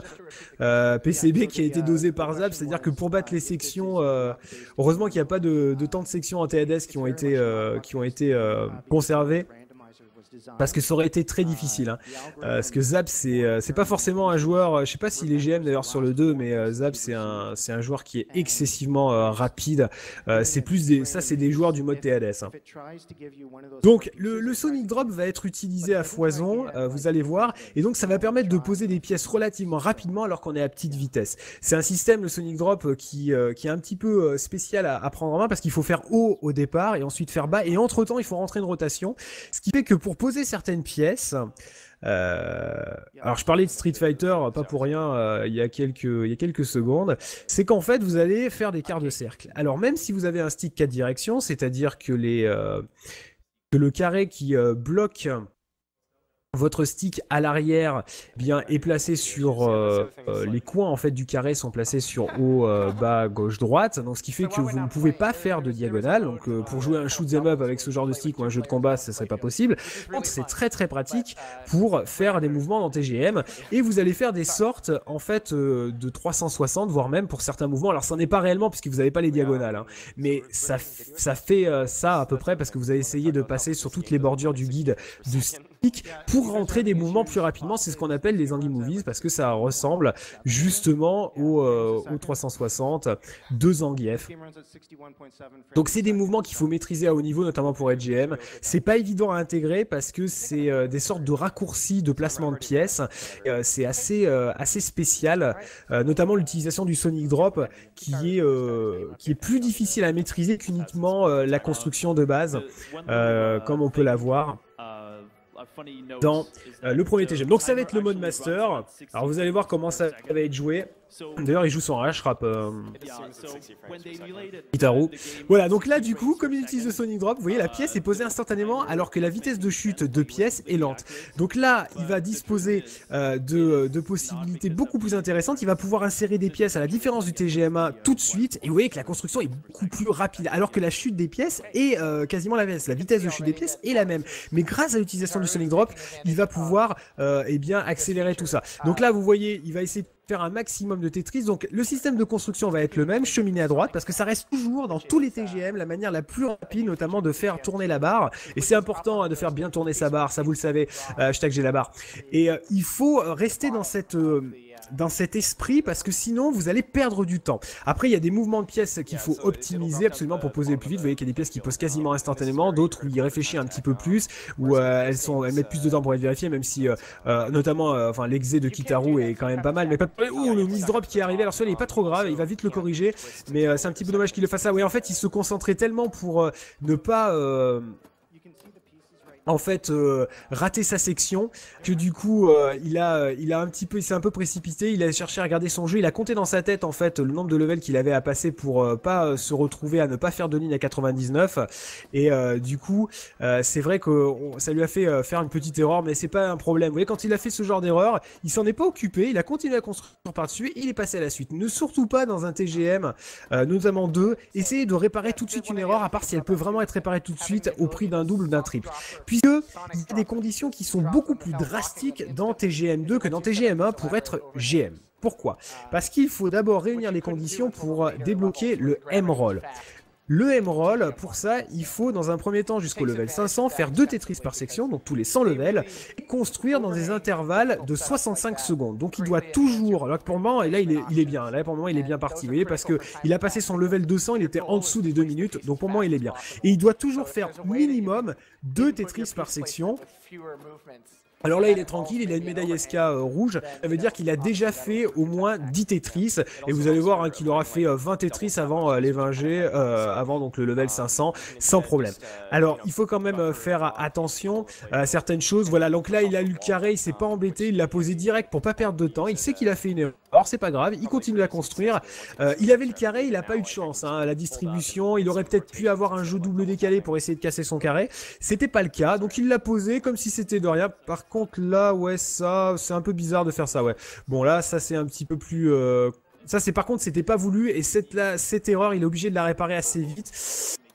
Ouais, alors là, il va se faire peur, par contre. Il va se faire peur. Ouais, il est mal... Hmm, non, c'est pas si fini que ça. Bon, il a pas, a pas trop level stoppé, mais il est pas en bonne position. Ouais, si ça va pas être mal, ça, ça va pas être mal. Un petit peu de chance avec la distrib. Vous voyez, même ses, même ses collègues à côté, ils sont pas très confiants parce qu'ils savent que là, euh, la distrib a décidé euh, de, faire des siennes. Il va être très embêté. Et surtout, le problème, c'est qu'il ne répond plus. Oh, c'est bon, il a vite, c'est bon. Il a récupéré son Tetris, ça c'est bon. Par contre, maintenant, il faut qu'il se manie le fion parce que le souci, c'est qu'il faut qu'il fasse, qu'il faut qu'il sorte ses deux Tetris. Ça, ça sympa. Ah, par contre, il remise drop derrière, il fait qu'un triple. Je suis pas sûr qu'il va sortir de Tetris dans cette section. Euh, et le souci, c'est qu'il a perdu du temps. Voilà, là, il va vite reconstruire. Il a placé son deuxième Tetris, euh, puisqu'il est obligé de respecter un sa règle des deux Tetris par section s'il veut essayer de répondre aux conditions du M-roll. Et c'est ça qui est, qui est pas évident. Ouais, il a perdu un petit peu de temps, mais il est pas trop trop mal. Mais je suis... Bon, je pense qu'il est passé dans sa section quand même. Difficilement, mais il a dû passer. Euh... Ça a dû être chaud quand même. Ça a dû être chaud. Hein. Je pense qu'il il est resté dans son rythme. Euh... Mais là, il s'est fait une petite frayeur. Donc c'est ça aussi le souci. Hein. Vous êtes amené à jouer plus haut pour jouer plus vite. Le truc, c'est qu'il faut faire vachement gaffe parce que sinon, si vous, vous estimez mal la distribution, alors qu'elle est bien meilleure dans ce TGM, de la distribution est vraiment bien rodée bien huilé. Mais si vous êtes dans un moment où vous avez fait un petit miss donc une erreur de poste de pièce, que vous en avez besoin, bah vous faites peur. Vous voyez, donc du coup, ça l'a un peu perturbé parce qu'il n'a pas encore ses 20 Tetris. Ils vont pas tarder à arriver, je pense, mais Kitaru aurait dû les avoir un tout petit peu plus tôt, à mon avis. Euh, donc là, il fait un double, il perd pas trop de temps, donc privilégié bien sûr double Voilà, ça y est, elle sort quand même. Voilà, elle est, bien, elle est quand même euh, pas mal. Il a bien géré cette, euh, cette erreur. Bon, Kitaru est capable de faire ce genre d'erreur et quand même d'atteindre les conditions du Emerald. Hein. Faut, faut voir que voilà, c'est, ça reste un joueur excessivement fort. Voilà, ça y est. Donc là, on est à 20G. Le, passe, euh, le compteur de temps passe à doré. On est en dessous des 5 minutes, donc on est bien. On était à quoi? 4,52, 4,53. Je pense qu'il a bien respecté ses conditions. Et maintenant, les conditions changent un peu. Elles sont un peu plus vicieuses encore. Alors, il n'a plus besoin que de faire un Tetris par section, sachant que ça suffira pas. Il faut quand même qu'il en fasse quelques-uns pour obtenir la meilleure note. Parce que là, les notes vont évoluer de manière plus lente parce qu'il y a des euh, grades internes. Je vous en parlerai un petit peu après. Et surtout, il doit toujours construire deux secondes plus vite en fait. Soit, euh, en fait, il doit vraiment construire soit plus vite, soit euh, dans un intervalle de 2 secondes plus euh, de deux secondes. Donc ça, c'est pas évident. Heureusement, la vitesse du jeu augmente. Alors vous vous demandez peut-être comment la vitesse du jeu continue à augmenter, puisque je vous ai dit tout à l'heure qu'à 20G, la vitesse de chute des pièces était capée, elle, est à son max. Mais en fait, comme ils étaient vicieux et qu'il y a des joueurs qui se plaignaient que on se faisait un peu chier dans le premier TGM, que ça n'allait pas assez vite, ben en fait, ils vous ont tout simplement privé de temps. Donc ce qui fait, c'est que au fur à mesure que vous passez les levels, euh, les pièces se bloquent plus vite, vous avez moins de temps euh, entre euh, le fait qu'une ligne se détruit et l'apparition d'une autre pièce, et tout ça, il faut gérer. Et vous avez aussi une augmentation de la maniabilité du jeu, il devient de plus en plus sensible, ce qu'on appelle le délai auto-shift ou le DAS en raccourci, donc euh, la capacité à précharger la direction d'une pièce, elle aussi, elle met de moins en moins de temps à sortir. C'est-à-dire que quand vous allez faire droite ou gauche, en quelques frames, votre pièce sera tout de suite à l'extrême droite ou à l'extrême gauche. Et donc, ça, il faut l'apprendre à apprivoiser parce que c'est comme si on changeait votre gameplay, le jeu devient de plus en plus sensible alors que la vitesse augmente donc vous, vous devez être de plus en plus, euh, comment dire, avoir un, toucher sur le jeu euh, de plus en plus doux, alors que la vitesse augmente, il faut être de plus en plus souple pour pouvoir euh, réussir à s'en sortir. il est pas mal. Donc Kitaru, il va continuer à lever son jeu, il va pas s'embêter parce qu'il va essayer surtout de respecter sa condition Tetris, il est bien. Alors à 700, il y a une grosse augmentation de vitesse, mais qui reste en fait assez appréciable. On aime bien jouer à 700 en règle générale. Quand il arrive à me dire, oh, il sort le SK doré, ça veut dire qu'il a fait au moins 35 Tetris, il est bien. Il est complètement bien là, Kitaru. Enfin, en tout cas, j'ai pas de doute euh, qu'il est pas mal parti pour euh, nous sortir. Euh, les conditions du ce qui serait bien à sa première partie alors qu'il s'est fait pas mal peur. Il faut qu'il continue quand même à faire des Tetris, au moins un Tetris à chaque section. Attention là avec ce genre d'erreur. Ouais, attention, attention, parce que là, du coup, je suis pas sûr qu'il ait sorti le Tetris en section. SS6, dans les grades, il est un petit peu en retard retard. Peu retard dans ses grades par contre, parce que donc là les grades continuent d'augmenter. À chaque fois que vous êtes fait des Tetris, en fait il y a des notes internes. C'est pour ça que euh, vous avez mis, vous avez peut-être vu que le S1, enfin le 1, le passage 1, S1, S2 a été très très long. Il est obligé de sortir des Tetris, il le sait. Aïe aïe aïe aïe aïe. S7. Je pense qu'il a raté la section. Hein. Je suis pense pas qu'il l'aura, parce que je pense qu'il a pas sorti de Tetris dans cette section en fait. Et le problème, c'est que là, il est en retard d'un grade. Et à mon avis, déjà à sortir le S9, il va avoir énormément mal. Le S8 sort. Problème, c'est qu'il a pas fait son Tetris. il l'a peut-être fait en début de section. Le S9 va peut-être sortir de justesse, mais je pense qu'il a raté la section précédente. Malheureusement, malheureusement, même si le jeu a été très très impressionnant, on pourra quand même applaudir à la performance de, de, de, Kitaru parce qu'il a rattrapé une erreur. Il a quand même dans un temps. Il va être en dessous de la limite des 8.45. On va voir, mais Ouais, voilà, il l'a raté, hein, mais je suis pas surpris, il a raté la section 800. Donc voilà pourquoi le jeu est excessivement difficile. Donc il a que le mode semi-invisible, il a pas débloqué le Emerald, donc il sera que S9, alors qu'il a fait un bon temps. Hein. Il a construit sous les 8 minutes 45 la totalité euh, de ses niveaux, donc les 999 levels. Mais le problème, c'est qu'à 800, il lui a manqué un Tetris, et le jeu, et non seulement il lui a manqué un Tetris, et en plus il a peut-être été plus lent. Parce que le problème, c'est que quand vous corrigez une erreur, il faut toujours euh, au moins construire deux secondes plus vite. Et si vous faites pas ça, même si vous avez sorti votre Tetris, le jeu vous punit, il est intransigeant. Et c'est pour ça que la marge entre le TGM 1 que vous avez vu juste avant et le TGM 2 est excessivement violente. Ces conditions qui sont pratiquement basées sur des sections de temps, un petit peu sur les points, mais principalement sur des sections de temps. Je dis un petit peu sur les points parce que pour l'évolution des grades internes et de la note qui apparaît en haut à gauche, la qui est de S9 et qui n'évoluera plus, ça sert à rien qu'il le complète le semi-invisible, il le fait pour le, pour le spectacle. Mais euh, voilà, croyez-moi que la performance quand même hein, de Kitaru est, euh, est, très très honnête parce que dans ces conditions-là, sortir en live un, un M-roll, ne serait-ce que débloquer le M-roll, c'est excessivement difficile. C'est excessivement difficile. Là, il y a du monde, il est peut-être pas dans la même configuration qu'il a l'habitude de jouer sur un écran plus grand, je sais pas, il a peut-être. Euh... il joue, il joue sur un. Euh, il joue sur un super gun euh, également Kitaru. Il est quand même habitué à faire pas mal de démonstrations. Mais il a sorti un bon 8-21, un S9. Mais voilà, je suis pas, je sais pas ce qu'ils ont décidé de faire. Je pense qu'ils avaient décidé de faire qu'une seule tentative. Euh, ils vont peut-être montrer un peu de TADS maintenant pour rester, euh, pour rester dans le. Écoute ce qu'il est en train de dire. Pour rester pour essayer d'en montrer plein la vue. um, which is really cool. And actually, a little point of interest here is you may see some times by Zab, who is ils sont en train de, ils sont en train de se décider de montrer, euh, ils sont en train peut-être de se décider. Putain, la PCB qui appartient à Zab, quoi. Et alors, les mecs comme Zab, ils sont GM en 726, hein, ça veut rien dire. Alors, euh, il y a des mecs comme euh, KFC qui sont, qui sont sortis des 718. Ça, des GM, déjà les GM quand vous êtes en dessous de 8 minutes, c'est violent. En dessous des 730, c'est très violent.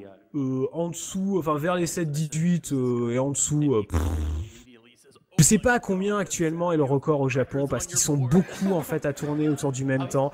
KFC doit pas être mal, mais en fait les rankings là-dessus sont pas toujours forcément euh, très bien tenus sur TGM2. Faudrait que j'aille revoir le ranking de la salle Kodaira s'ils ont des temps sur TGM2, mais euh, c'est vrai qu'il est difficile de savoir. On sait qu'il y a beaucoup de joueurs qui sont, enfin il y a quelques joueurs qui sont en dessous des 7-20, beaucoup non. Euh, c'est vrai que je vous en ai pas parlé, mais on estime qu'il y a bon voilà énormément de joueurs GM sur le premier, énormément, on va dire tous ceux qui ont un peu joué et tout euh, peuvent être GM sur le premier. Sur le deuxième, euh, on pense que c'est entre 30 et 50 hein, à être GM sur le deuxième. Donc c'est pour vous dire qu'ils ont tellement mis des conditions euh, élevées sur le 2, parce que je vous ai pas parlé de la dernière condition pour être GM, que vous connaissez sans doute, parce que vous êtes des connaisseurs, vous. C'est que là, il n'a pas débloqué le M-roll pour être master, donc du coup, le staff roll qu'il avait à terminer, il l'a eu en semi-invisible et pas avec une construction qui disparaît au fur et à mesure qu'il place les pièces dans ce qu'on appelle le mode invisible, qui permet, qui est le dernier palier, qui est énormément difficile. C'est un nouveau jeu qui commence, qui est le palier qui sépare le master du GM. Parce que voilà, il y a des joueurs qui estimaient que c'était trop simple d'être GM dans le premier. Donc du coup, on a mis un mode à construction invisible pour terminer. Alors, qu'est-ce que qu'est-ce qu'on va voir là? Je sais pas. Est-ce qu'ils vont changer le setup? Qu'est-ce qu'ils vont décider de faire? On sait pas trop. Est-ce qu'ils vont nous faire une autre euh, exhibition sur un autre mode? Un problème, c'est qu'ils ont pris, euh, un petit peu le, petit peu peut-être trop de temps au début à, présenter euh, le TGM1 plutôt que d'essayer de jouer. je pense qu'ils sont partis pour faire un peu de coop là. Hein. Alors, ce qui est très intéressant, c'est qu'ils ont coupé les micros ou je sais pas ce qu'ils ont fait, euh... mais on les entend absolument pas. Donc, il y a QLex qui essaie d'expliquer quelque chose, mais on comprend pas. Et on leur a signalé. Euh... Il y avait un petit problème de son. Donc je pense qu'ils parlent de survival, je pense qu'ils vont peut-être faire un versus en TADS, une petite exhibition en TADS. On peut faire aussi du versus hein, dans le jeu. Euh, c'est pour ça que, vous voyez, il est présenté en mode double écran. On peut, on peut euh, demander euh, au jeu d'être présenté avec un, seul écran, hein. mais c'est vrai qu'on prend l'habitude, euh, et puis dans les salles d'arcade, vous comprenez, pour que ce soit plus fun, il y a toujours des panels deux players en règle générale sur les sur les Tetris TGM, c'est vrai que ça sera un peu une erreur d'avoir un, un, panel un player sur ce genre de jeu. Surtout l'important c'est d'avoir le guide bien placé ça reste relativement injouable. Ah ouais, alors avoir la PCB où Zab est passé, euh, le pauvre Kitaru il battra jamais les, euh, il battra jamais les, euh, temps. Hein. Mais alors si ça lui fait comme moi, je n'ai jamais trouvé comment resetter la PCB de TGM de plus qui n'a pas de pile. je sais pas si c'est en fait, on doit la gérer avec un bouton ou genre essayer de faire une sorte de court-circuit à un endroit pour pour la remettre à zéro. Alors, j'ai pas voulu faire. Je crois que c'est aussi peut-être possible peut-être par le service mode. Je sais pas. En tout cas, j'ai jamais trouvé. il y a peut-être sans doute un moyen, hein, mais j'ai pas assez gratté dans le service mode de la PCB. Bon après, on s'en fout. Hein, en soi, c'est pas très très grave. c'est aussi marrant que tu gardes les les, temps de section des, joueurs japonais qui sont très très forts. Moi la mienne elle est blindée de 309. Alors 309 aussi c'est un joueur euh, qui est excessivement violent en TADS. Ah du TADS. Alors le TADS c'est assez différent. Le TADS c'est le mode le plus rapide de jeu. Il va commencer comme dans un level 700. Euh, vous voyez, ça va aller euh, très très vite. et le truc, c'est que il a moins de conditions que le mode, le mode qu'on a vu avant, le mode master. Grosso modo, en fait, là, il faut réussir. Euh, il n'y a pas toutes ces histoires d'autant. Il n'y a qu'une seule règle à respecter.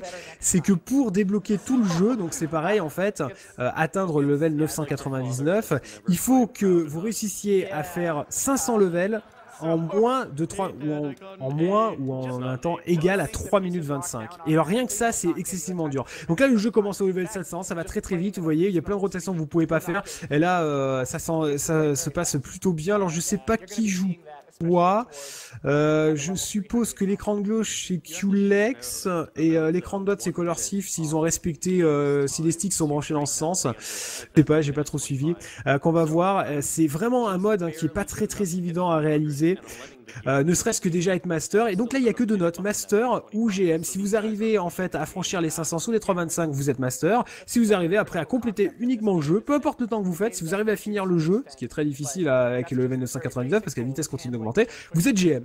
Donc il y a beaucoup moins de conditions, vous voyez, que le master mode, mais c'est un mode de survie qui est très très apprécié, qui est euh, assez difficile en soi parce que vous n'avez pas toutes les facilités de rotation que vous avez dans un, comme dans un TGM 3 où ils ont rajouté des wall kicks qui assouplissent euh, le système de rotation et la manière pour déposer les pièces. Ici, ça reste beaucoup plus compliqué. Euh, on peut euh, forcer le jeu et construire assez rapidement jusqu'à 300. Par contre, déjà à 300, le jeu il débloque la vitesse et il, envoie la patate. Hein. Et c'est, il faut à peine frôler le stick, sinon à la moindre pièce où vous décrochez, vous allez en, empiler 3-4. Hein. Ça va tellement vite à 300 que en règle générale, quand vous êtes un, joueur pas très très fort ou même que vous débutez un petit peu ou même des fois que vous êtes confirmé, vous hésitez à parce que vous pouvez continuer à loquer en, en, euh, TADS. Hein. Vous avez toujours cette possibilité. Vous n'utilisez pas le Sonic Drop, mais vous pouvez continuer à forcer les pièces à se coller euh, vous-même, de façon manuelle, en faisant bas.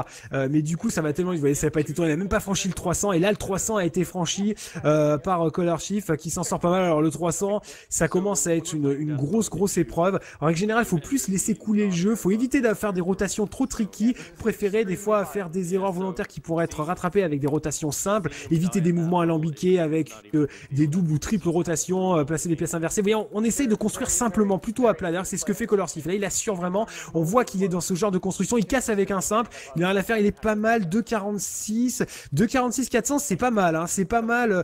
Euh, Color Shift, je pense qu'il est au moins master. Trouve, il est même GM en TLS. Hein. C'est vrai que je, connais moins la, progression de ce joueur qui se fait assez discret. Mais il est bien là. Il est pas mal pour nous sortir euh, peut-être au moins un master dans le TLS. Il a une bonne construction, même s'il a continué à la faire par la gauche. Ça s'empile bien. Il a récupéré un beau petit niveau de jeu. Ah, c'est plutôt pas mal la démonstration qu'à faire que leur chiffre là. Ouais, les 500 qui vont être franchis. Là, faut pas qu'il trouve, faut qu'il trouve la ligne. Là, faut pas qu'il panique juste au moment de faire la ligne, parce que sinon ça va être difficile. C'est souvent là des fois qu'on perd un peu pied. Ah là là là là.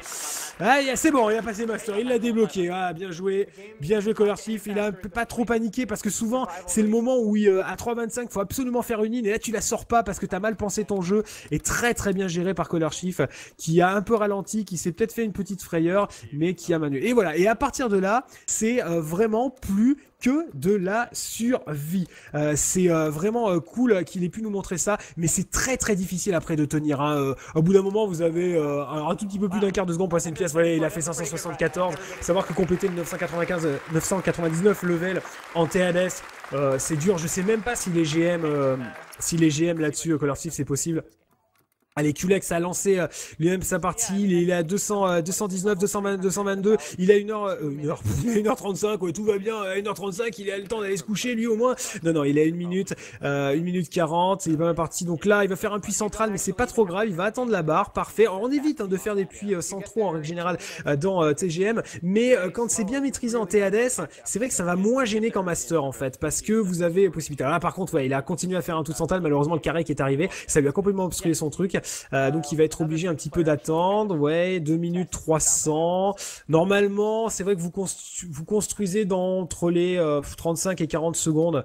En fait, pour des joueurs assez confirmés dans le TADS, à peu près chaque 100 levels c'est plutôt, euh, c'est plutôt là, en plus le rythme hein, qu'il faut aborder dans ce jeu pour réussir à euh, ne serait-ce qu'être master. Master, c'est bien. Moi, je rêverais d'être master parce que moi, je le complète en 500 si vous voulez, mais genre en 3.35 ou 3.45. Donc, je suis dégoûté.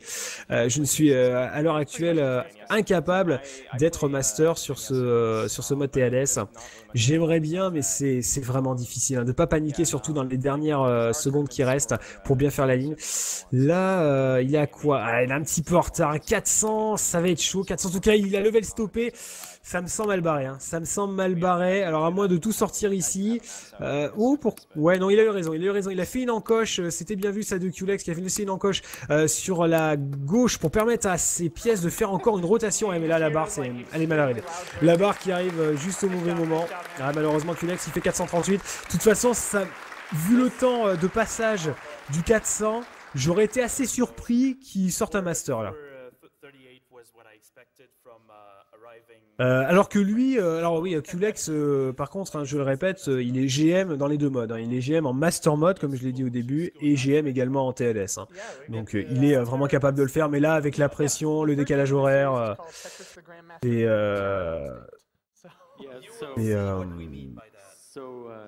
et c'est vraiment compliqué. Alors d'après ce que je viens d'entendre, j'ai bien entendu, j'ai entendu TGM3, The Terror Instinct, donc je pense qu'ils l'ont amené, ils ont osé. Euh, alors vous allez voir que là, euh, bon bah les développeurs ils ont pété un plomb. Hein. Alors il y en a qui se sont dit bon le 2, euh, vous êtes peut-être allez une trentaine grosso modo à le torcher. Bon on va vous faire le 3. Alors le 3 ils ont réglé le problème. Hein. Le 3 actuellement, et d'ailleurs si ça avait été un peu plus tôt, j'aurais dit ah bah il y avait même pas autant de joueurs. alors si je dis pas de bêtises, aujourd'hui ils sont 5 joueurs uniquement à avoir complété dans le monde euh, le jeu en master mode pour être GM. Euh, pourquoi? Euh, parce que ils ont été au bout du bout dans TGM3. Alors déjà, le jeu est plus rapide, plus violent. voilà. Bon, en effet, système de preview à trois pièces, un réservoir, donc comme dans les dans les uh, Tetris. Hein. Mais euh, je sais pas s'ils vont, euh, je sais pas s'ils sont, j'espère qu'ils l'ont apporté. Hein. J'espère qu'ils ont pas juste dit euh, ah il existe ça. Euh, pour nous euh, pour nous faire miroiter. Non, je pense que là ils sont en train de l'installer. Euh, c'est vrai que voilà, il y a seulement 5 joueurs dans le monde qui ont réussi à le compléter dans le mode classique. pas très longtemps d'ailleurs le cinquième joueur. Voilà, ils l'ont, ils l'ont, il est là. Vous voyez cette boîte dégueulasse? Ça c'est du Taito Typex. On le reconnaît. Cette espèce de boîte aluminium là qui ressemble à rien, avec des clés qui crament toutes les toutes les deux semaines dans les salles japonaises et autres qu'il faut manier avec énormément de précaution, eh ben ils l'ont amené, ils l'ont amené. Donc ça c'était GM3, vous êtes en train de le voir passer. Euh, euh, ça vaut une blinde. Euh, ça marche mal, c'est très bien, c'est très très bien. Alors donc ils se sont dit dans TGM3 le jeu est trop simple, TGM2 c'est trop simple, c'est vraiment pour les, débutants. on va faire un jeu pour les vrais. Et euh, du coup, en fait, le, truc, c'est que pour être euh, déjà de base, quand vous commencez le jeu, que c'est votre première partie, même si vous êtes très fort sur les autres, vous pouvez pas sortir une partie GM. Parce que le système euh, de TGM3 fonctionne à partir d'examens.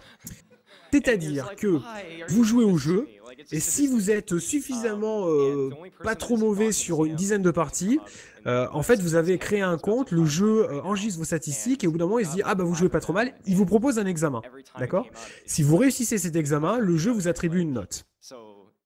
Alors, ce qui est très compliqué, qu'ils ont augmenté le nombre de notes master, c'est-à-dire que dans ce que je vous dis, je dit euh, pour TGM 2, il y a master et GM. Là, ça n'a absolument rien à voir. En fait, il y a M1, il y a de M1 à M9. C'est même pas considéré comme du master, c'est considéré comme du pré-master. Ensuite, vous avez M9, vous avez master, pardon. Ensuite, vous avez des lettres euh, KVOM, donc master K, master V, master O, master M. Donc en sachant que MM, master M, c'est la meilleure note juste avant, c'est la dernière meilleure note juste avant GM. Mais le truc, c'est que pour être GM, il faut donc euh, réussir à avoir obtenu l'examen MM et être suffisamment constant pour qu'on vous propose l'examen GM et être connecté à son compte. Tant que vous n'êtes pas suffisamment constant en MM, donc Master M, et déjà il faut le faire, hein, parce que ce que je vous ai pas encore dit, c'est que pour compléter ces dernières notes Master K, V, O, M, ça se passe dans le mode invisible. C'est là où c'est devenu très difficile. C'est-à-dire que euh, si vous complétez le mode invisible, vous n'allez pas être forcément GM à la différence du 2.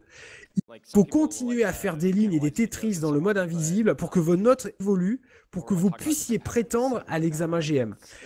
Et c'est excessivement dur, c'est-à-dire que maintenant les joueurs qui sont très très rodés, alors il y en a très peu, hein, comme je vous dis, il y en a 5, sont capables de te le débloquer, alors notamment Khan que vous avez pu voir au Stunfest l'année dernière.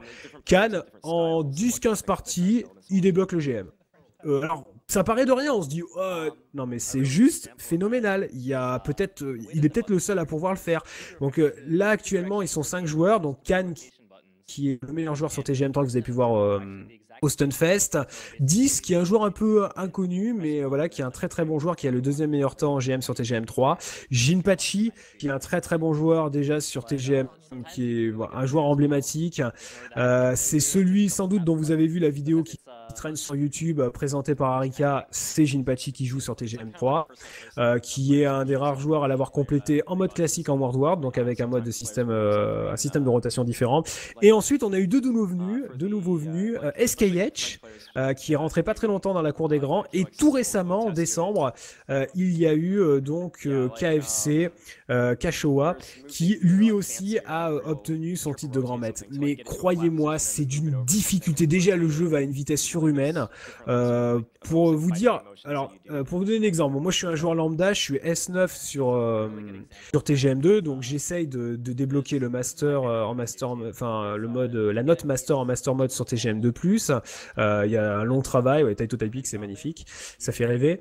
et donc quand je joue, donc je suis S9 sur TGM2, quand je joue à TGM3, en général, je meurs entre 700 et 800 parce que le jeu, euh, il va excessivement vite. Euh, ah, une erreur, tout se passe bien. C'est du Taito hein. ne touchez pas votre téléviseur, c'est normal. Et ça se trouve, ils sont même pas sûrs qu'ils vont réussir à le faire marcher euh, en direct à la GDQ. J'espère qu'ils l'ont bien testé, hein, parce que il est tellement capricieux ce système. Ouais, moi je bloque à 700-800. Hein. Euh, les joueurs là, euh, ils arrivent non seulement à être ultra réguliers et continuer à jouer dans le mode invisible en essayant d'être. Alors quand on dit le mode invisible, hein, c'est vraiment la construction qui est invisible. Vous voyez les pièces arriver. À partir du moment où elle est bloquée sur la construction, elles disparaissent et elles intègrent votre pile. Donc il faut. Là, c'est un jeu de mémoire. Euh, donc on n'en a pas vu, j'aurais aimé vous en parler, mais c'est un vrai euh, nouveau jeu qui commence et c'est un, c'est de la mémoire en fait. Hein. C'est vraiment essayer de se souvenir la partie supérieure de sa construction pour réussir à faire ça continuer à empiler les pièces. Euh, bon, vous pouvez aller voir hein, sur YouTube, il y a énormément de, de, de parties comme ça. Euh, j'en ai commenté également sur ma chaîne YouTube dans les climax euh, pour, pour essayer d'expliquer un petit peu comment ça se passe. Mais c'est vrai que le mode invisible, c'est un nouveau jeu qui commence et c'est c'est une épreuve qui est excessivement dure.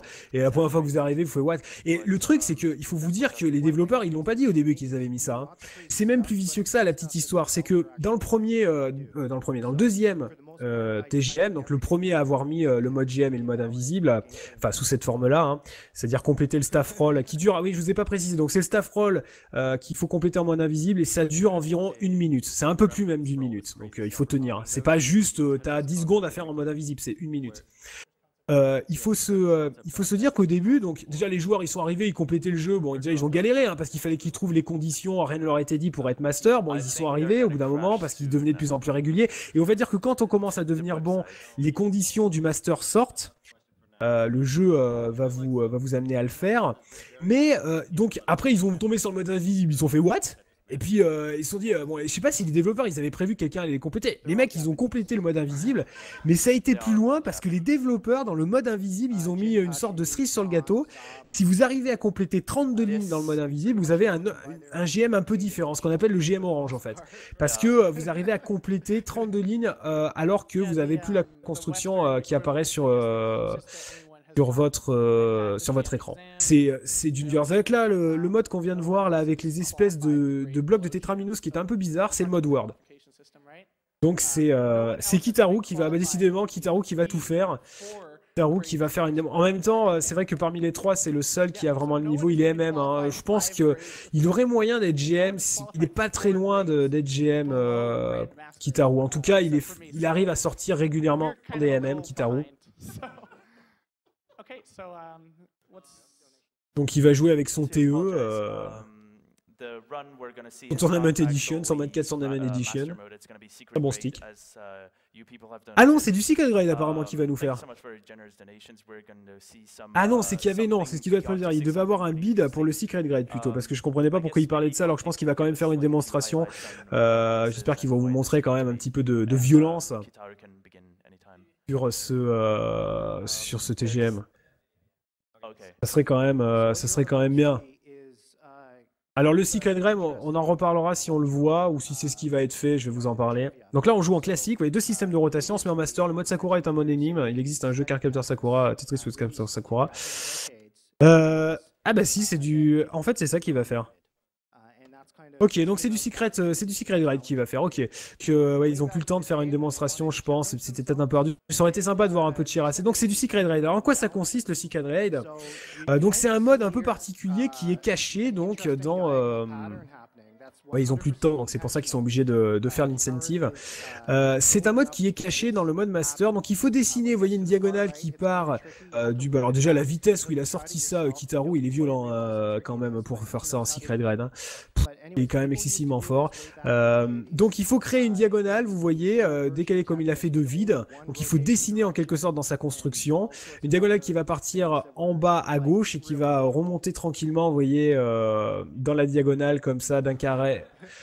vers la droite. Et ensuite, il va falloir la faire partir de nouveau, vous voyez, enfin dans le sens imposé, opposé, pour euh, compléter euh, reste. Voilà. Donc là, il a déjà fait, euh, vous voyez, le bout de la diagonale qui part sur la gauche, hein, c'est parfait. Et après, et c'est là où ça va être très très dur, c'est qu'il faut un petit peu de, de chance dans la fin de la distribution et un petit peu euh, d'astuce pour réussir à compléter complètement la diagonale pour obtenir en fait le GM pour le secret grade. Donc en fait à chaque fois que vous réussissez à faire la diagonale de plus en plus évoluée, vous obtenez une note qui évolue et si vous, euh, enfin une note de plus en plus grande, pardon. Et si vous réussissez à compléter complètement euh, la diagonale, et bah du coup vous êtes GM. Donc c'est un mode qui est caché, mais après il faut avoir. Donc là on s'en fout. Alors il y a un mode de regret, hein, là vous avez vu apparaître, on s'en fout, parce que ça, ça appartient au master mode. Comme on le voit pas, je vais pas forcément vous l'expliquer. Euh, c'est en effet ce qui explique aussi toute la violence, c'est que quand vous êtes pas, c'est vraiment le jeu. Juste pour faire très court, c'est vraiment le jeu de la régularité TGM3 peut être très régulier euh, sein même d'une partie et entre chaque partie et à chaque section. Donc c'est pour ça qu'il est excessivement dur TGM3 euh, parce que il vous demande ah, c'est pas mal ça, il a fait un cran supérieur. Allez, allez, oh nice, ça c'est bon. Oh il va le faire. Oh il va le faire, c'est bon il est sorti. Oh là là, Kitaru qui nous fait ça, le secret de Game GM tranquille. Oh là là là là là là là là là. Oh ouais. Ah, ils auront pas pu vous montrer, il, sera, il se sera vengé, Kitaru, il a pas pu faire malheureusement le... Il a pas pu vous montrer le, le M-Roll à quasi rien. Et il vous fait le Secret Grade GM. C'est quand même une grosse, grosse performance, hein, parce que, euh, ouais, ouais, faut, faut réussir à le faire. hein. Faut vraiment réussir à le faire. Chapeau Kitaru, hein. franchement, chapeau Kitaru. Donc c'est euh, son pseudo sur, euh, sur Twitter, parce que s'il a été pas donné, c'est euh, at Kitaru. K-I-T-A-R-U-T-C. On l'a vu passer rapidement, on l'a pas revu peut-être. Je sais pas s'il était indiqué. Il avait peut-être été indiqué quand il l'a fait. N'hésitez pas à le suivre. Là, on voit surtout les Twitch des joueurs. Donc c'est vrai que ça lui arrive de, de Twitcher, mais si vous le suivez aussi également sur Twitter, n'hésitez pas. Pour euh, ne serait-ce que le mentionner pour sa performance, parce que sortir un Secret Grade sur le premier essai euh, en live à la GDQ, euh, voilà quoi. Bon, ça fait pas Cannes. Hein. Encore Cannes, je suis même pas sûr d'ailleurs qui qui s'entraîne à faire des Secret Grades, puisqu'il y a des joueurs qui, plein de joueurs qui font pas tous les défis. Hein. GM3, il y en a des modes Sakura, ils en ont rien à faire. Il y en a qui jouent quand Shirase. Alors qu'est-ce qu'il va nous faire, Kev- Kevin Ah, alors donc là, voilà, il explique le système, euh, voilà, le système de statistiques. Donc vous créez un compte. Ensuite, à chaque fois, vous vous loguez à ce compte, et au fur et à mesure, voilà, que vous complétez des parties, le jeu euh, check ce que vous faites et dit, euh, et dit là, ah bah tiens, c'est pas mal, euh, c'est pas si mauvais que ça. Quand on va voir le nombre de parties qu'il a fait, donc comme c'est pas sa PCB, il doit jouer très rarement. Vous voyez, il a fait 25 parties qui sont dues à l'entraînement. Il a quand même débloqué le MK, hein, euh, nice. Nice, sur 25 parties, il a quand même sorti euh, le MK. Donc ça veut dire qu'il a eu l'examen MK. Donc MK, je vous rappelle, euh, juste après, il y a MO, Master O, Master M, et après CGM. Donc déjà Master K sur 25 parties, je suis pas tellement surpris, hein, parce que Kevin, derrière, ça reste un joueur très très fort aussi, faut pas... Faut pas négliger, euh, faut pas négliger sa puissance. Euh, ça doit faire euh, à peu près au moins pas loin. Il va être pas loin de 10 ans hein, qu'il joue la série des TGM. Et il est, il est redoutable aussi. Donc là, il nous montre le Master Mode. Donc il va faire une démonstration Master Mode. Ok, bah plutôt cool. Alors, il construit pas très vite et il a raison. Pourquoi? Parce que, à la différence de, TGM 2, et vous qui, allez imputer le temps de chaque section. Alors, il y a quand même une limite. Euh, je crois a les d'une 15 d'ailleurs. Je vais pas revérifier, je vais la revérifier vite fait. Je manque à tous mes devoirs. Je crois que le minimum, c'est. Euh, elle doit être autour d'une 15, bon peu importe. Euh, ça c'est les cool conditions, c'est 500. Ah non, c'est même non, c'est une 30, non, c'est 52 secondes. Ok, je crois que c'était plus long que ça. C'est pour ça, ça va être pour débloquer euh, autre chose. Bon, peu importe. J'étais un peu gourmand. Bon, euh, c'est pour pas avoir les sections en, regret en fait. Euh, alors, je vais vous expliquer un petit peu le système de cool et de regret, parce que c'est un peu compliqué. Donc, euh, en fait, vous allez construire la première section avec un certain temps. Première section, je rappelle, c'est atteindre les 100 premiers niveaux. Et ensuite, le jeu va vous dire, bon, bah, si vous avez construit entre 0 et 70 levels, enfin, entre vos 70 premiers levels dans une section thème de 52 secondes, ok, on vous donne le cool. Par contre, après, à partir de ce moment-là, le jeu va regarder à combien vous êtes passé, c'est pour ça qu'il construit pas trop vite. Et il faut que vous restiez dans un intervalle très précis. Sinon, si vous construisez pas euh, toujours de la même manière entre 0 et 70, donc il check tous les 70 levels par section, eh bien il ne va pas vous attribuer le cool. Là c'est bon, il a eu le cool, donc ça c'est le cool en fait de section. Et là il a eu le deuxième cool. Donc ça c'est parce que il a fait un certain nombre de Tetris et euh, il faut savoir que ce qui est un petit peu compliqué à comprendre dans le jeu, il y a beaucoup euh, de cool qui apparaissent, mais en fait il y a un cool de section D'accord Et il y, a un Tetris Cool et il y a un Spécial Cool. Donc il a eu sans doute le Tetris Cool, c'est pour ça qu'il en a apparu deux à section de 100. Quand vous, quand vous réussissez à respecter euh, toutes les conditions, vous allez en fait level booster le jeu. Alors ça paraît, euh, c'est vrai que je rentre dans des termes assez compliqués. Comprenez que si vous jouez bien, de manière régulière, que vous obtenez vos cools, le jeu va débloquer une vitesse supérieure euh, plus tôt que ce qu'il devrait le faire. Voilà, là il obtient le cool de section, parfait, il est bien. Donc là il essaye surtout de viser, voyez, il vise pas tellement la vitesse, il vise surtout la régularité. Parce qu'il sait que sinon euh, le jeu va le punir. Donc là il a obtenu le cool de sa section. Là par contre il est un petit peu embêté parce que euh, du coup, euh, bon il a fait quelques erreurs, non c'est bon, il a un peu essayé de maîtriser son temps. Donc c'est pour ça aussi hein, qu'il joue très lentement, c'est vraiment pour maîtriser son temps de section. C'est volontaire hein, qu'il fait ça. C'est justement pour être sûr de ne pas rater ses sections. Et c'est ça qui rend le jeu si difficile. Et aussi, il faut quand même le dire, euh, si peu apprécié. C'est vrai qu'il y a beaucoup de joueurs qui ont du mal à passer à TGM3 à cause de ces règles.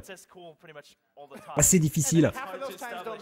Allez, donc là, il va, on va voir si autour des 70, une fois qu'il a passé 70, il va obtenir euh, la section. Donc il essaye de construire euh, de manière correcte. Là, par contre, au niveau du Tetris Tool, je sais pas s'il va être bien.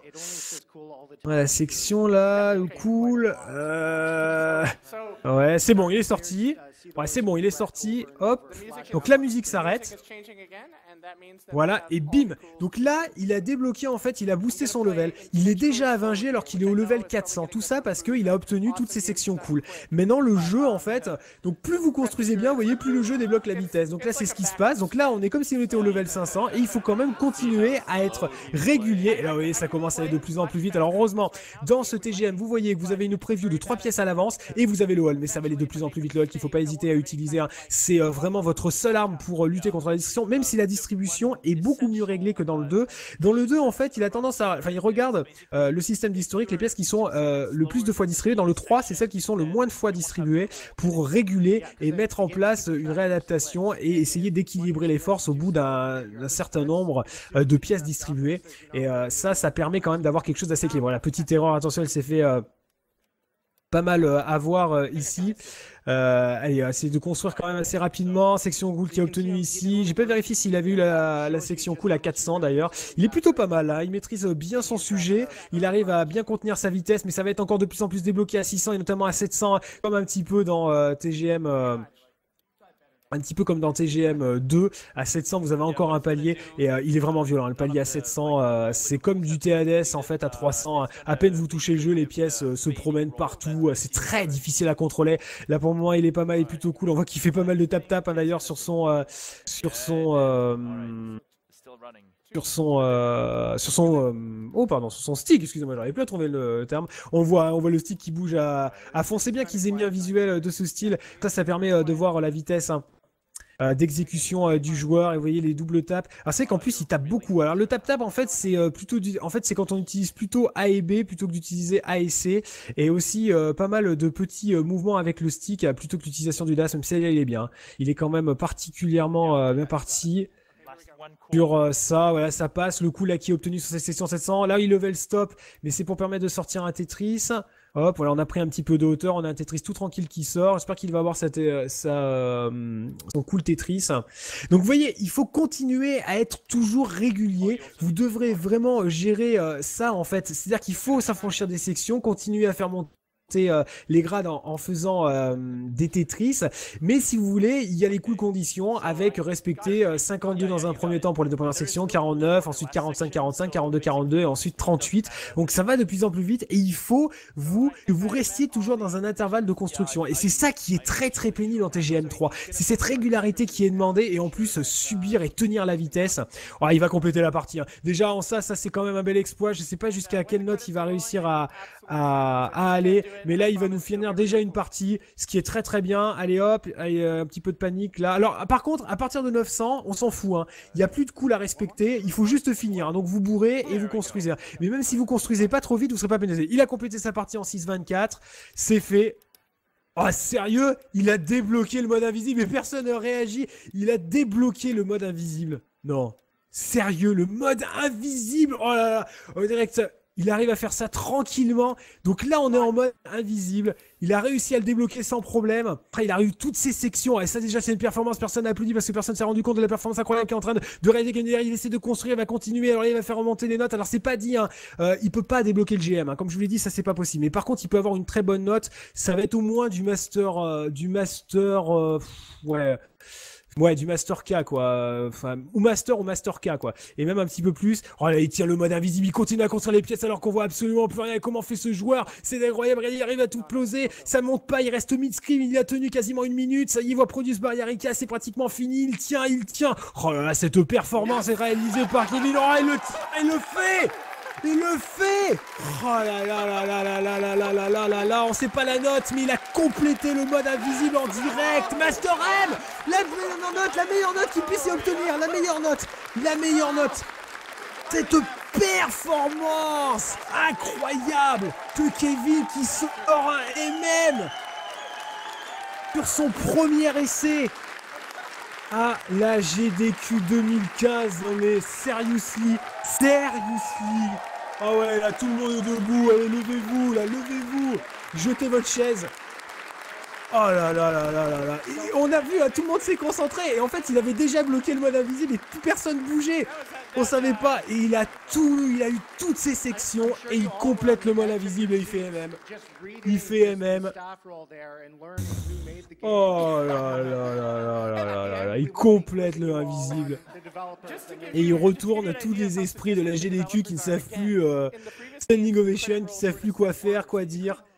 Oh là là là là là, j'avais dit hein, que c'était un joueur euh, excessivement fort, Kevin ADR. On avait la crème de la crème des joueurs en Japon, et ben ils l'ont prouvé, ils l'ont quand même prouvé. Dommage juste Kitaru qui n'aura pas pu obtenir son GM euh, sur TGM2, il va avoir quelques regrets, mais euh, Kevin qui nous sort un MM. Voilà, où je pense que ouais, j'ai la barre, moi, je peux arrêter, hein, je peux me casser. J'arrête de commenter, je me casse.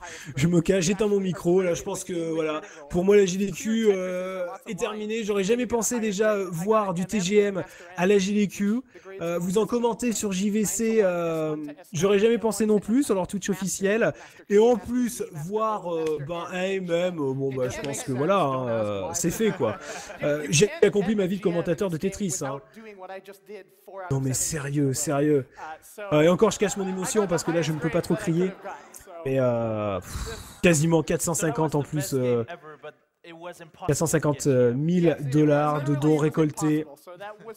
Et c'est vrai que l'année dernière, on avait la standing ovation pour euh, le mode, euh, le mode euh, story de F0 JX. Et je crois que, euh, que cette année, on pourra euh, retenir également euh, comme grosse performance le MM euh, de, euh, de Kevin euh, à cette, à AGDQ. Parce que croyez-moi, faire un MM, faire un MM comme ça en live, quoi. Euh, et c'est fou, c'est juste fou. Et vous voyez, euh, après pour vous dire, euh, quelqu'un comme comme Khan, il a fait, il a fait par exemple, il avait un typo, un typo, pardon, il avait le système, excusez-moi, le typo Tactics au, au Stunfest.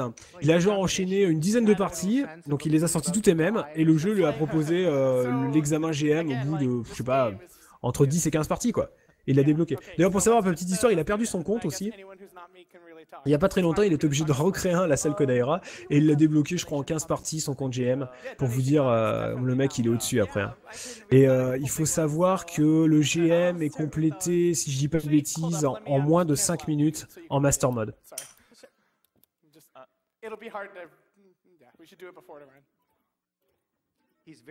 Alors, je ne sais pas ce qu'il est... euh, pourquoi... Qu'est-ce qu'il est vous faire? J'ai pas compris, là. J'ai pas compris pourquoi il s'est mis en mode... euh, en mode Word. Ah, cette performance, quoi. Sortir un MM comme ça, tranquille. Enfin, tranquille, il était quand même crispé. hein.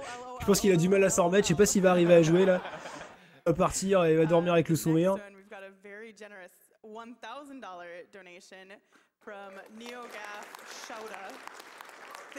Apparemment, il y a pas mal de dons, là, en plus, qui sont effectués. Ils ont été obligés de s'arrêter pour euh, signaler tous les dons qu'il y a eu. C'est sûr qu'après cette performance, ils vont faire un TGM4, euh, a priori non. hein. Alors Miyara, qui est le producteur du jeu, euh, en fait, euh, faut savoir que là, euh, je sais pas ce qu'il pense de la performance et de la présentation de son jeu à la GDQ dans un événement comme ça. Mais euh, faut savoir que Miyara, en fait, c'est bon, euh, il n'aime pas bien ce qui se passe en dehors du Japon. Euh, il fait la chasse à tout ce qui est clone et version euh, non légitime. Euh, bon là, il y a rien à dire hein, parce qu'on a bien vu qu'ils avaient le système et tout. Mais euh, ouais, Miyara, en fait, euh, voilà, on va pas, on va pas épiloguer sur, on va pas en dire trop sur Miyara, mais c'est vrai qu'il y a tout un historique. Mais grosso modo, c'est un peu lui aussi qui a empêché par son caractère la sortie du, du TGM4 qui en effet était prévu hein, à la base. Il y a eu des visuels, il devait être je crois qu'il y a eu un début de présentation même à un événement jeu vidéo japonais. Et bon, je pense que il est, il est enterré, oublié. Alors il faudrait que je sais pas, qu'il d'un seul coup une effervescence. Incroyable. Yeah, what's your objective for this this mode? I would say my objective is realistically to get to level 1000 or higher. This mode goes to level 30. Donc là, il va nous proposer. Alors c'est pas fini, il va continuer à faire le show, euh, Kevin. Donc j'étais en train d'écouter euh, ce qu'il est en train de. Donc il va nous proposer du mode Shirase avec l'objectif d'au moins atteindre le mode 1000, euh, pardon, le level 1000. Alors le mode Shirase, euh, pff, vous allez voir. Si vous avez trouvé que ça a été vite, là le mode Master, alors le mode Shirase, euh, voilà. C'est ce qui fait donc, euh, c'est ce qui se fait euh, aujourd'hui de plus rapide. Même si le jeu date, euh, j'aime bien, il y a marqué Madness dans le, en dessous, Shirase mode, estimation Madness, c'est à peu près ça. Ce que vous allez voir, mais c'est n'importe quoi. Alors c'est pareil, ils sont partis du même principe, ils se sont dit le TADS c'est trop simple, donc du coup on va faire un mode complètement craqué, donc il s'appelle Shirase. Euh, ça voudrait un peu dire euh, mode tu veux mourir, Euh, c'est un peu- l'idée. Et alors déjà, il faut savoir que il n'y a pas 999 levels, il y en a euh, 1300. en sachant qu'il y a énormément de choses euh, à faire dans ce mode, euh, dans ce mode Shirase. D'ailleurs, je ne me souviens même plus, pour tout vous dire. Euh, il faudrait que je vous trouve ça quand même. Euh, du Torican à passer. Alors Torican en fait c'est le la condition à remplir au niveau temps pour que le jeu euh, se débloque. Euh, tac tac tac tac tac. Quand on sait je cherche ça. C'est 2.28. Ah, c'est 2.28. Donc 3.25 vous voyez euh, pour le mode pour le mode TLS et là c'est 2.28. Donc il faut atteindre les 500 euh, en 2 minutes 28. Donc ça vous dit déjà ça vous indique que le jeu va beaucoup plus vite pour réussir à débloquer, euh, passer au-dessus du level 500. Attention, la petite erreur au centre. Oh là là là là. Non, c'est bon, il a bien corrigé ça, parfait. Il a mis la barre à plat et après il a, euh, il a corrigé ça en fait euh, de manière euh, horizontale. C'est très très bien joué, très très bien vu. Alors, il y a des fois où vous êtes, vous pas le choix, vous êtes quasiment obligé de faire des erreurs. hein. C'est ce que je disais tout à l'heure. euh, il faut prendre en compte le fait que les Tetris TGM, c'est des jeux qui vous amènent à faire des erreurs. Et il faut euh, réellement euh, prendre ça en compte et être capable surtout de, ne pas paniquer quand vous avez une erreur et de, répondre à l'erreur très très rapidement. Mais il y a dans des euh, situations où vous pouvez pas faire autrement, donc il faut faire avec et apprendre à faire des erreurs tout en corrigeant. C'est la logique de ce jeu. hein. Oh là, pourtant c'était tellement bien maîtrisé là pour le moment. Là, pour moi, il est à l'aise. Allez, attention, il va arriver à 300, donc nouveau cap de vitesse qui va être franchi. Déjà 300, c'est dur de tenir. hein. Très très dur de tenir.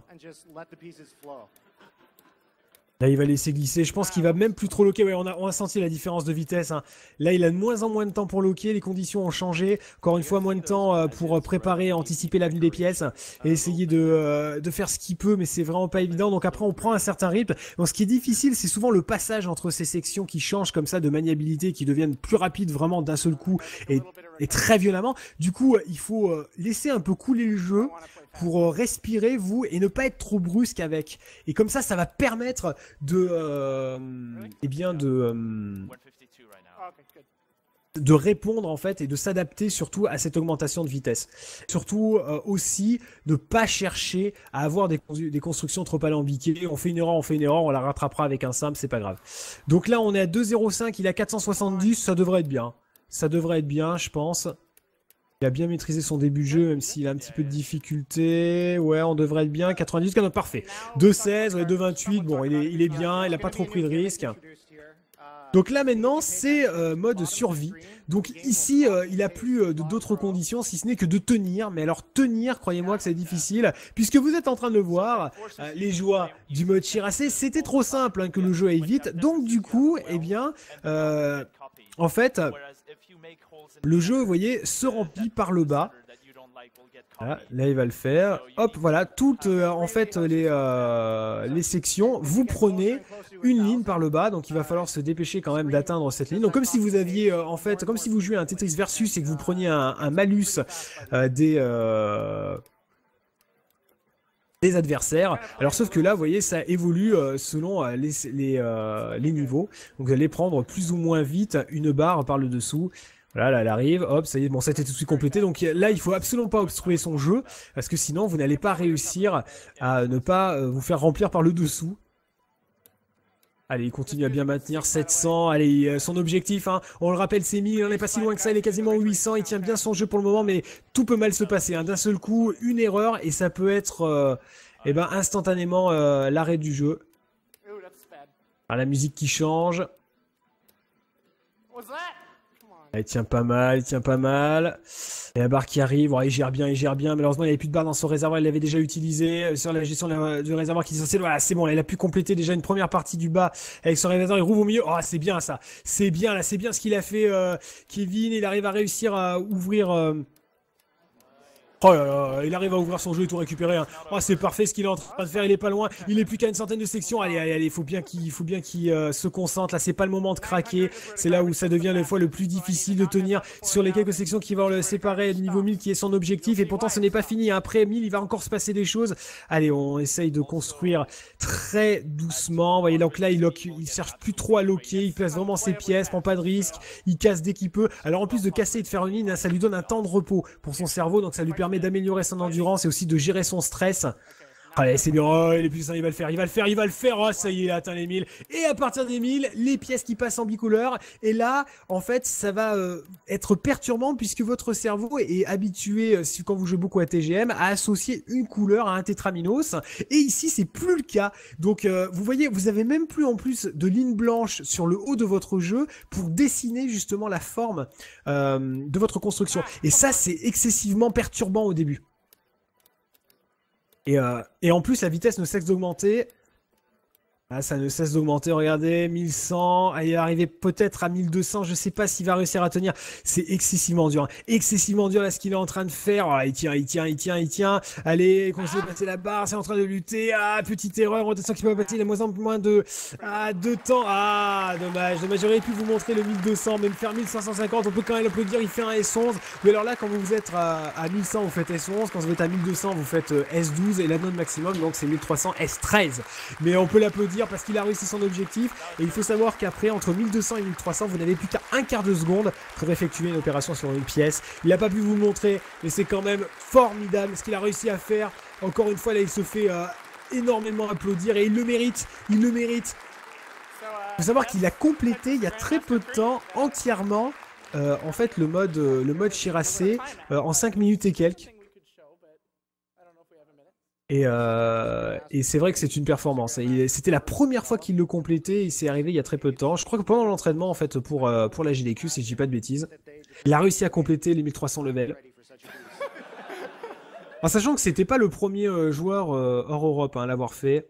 J'ai parlé tout au début de ce stream d'un joueur argentin qui s'appelle Nahu et qui, a priori, était le premier joueur à compléter le mode Shirase hors Japon.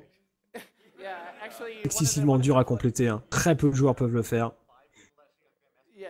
Il y en a qui font ça sans problème. Alors Khan, hein, pareil, hein, il joue euh, indifféremment euh, au mode mas- au master mode et en Shirase. hein.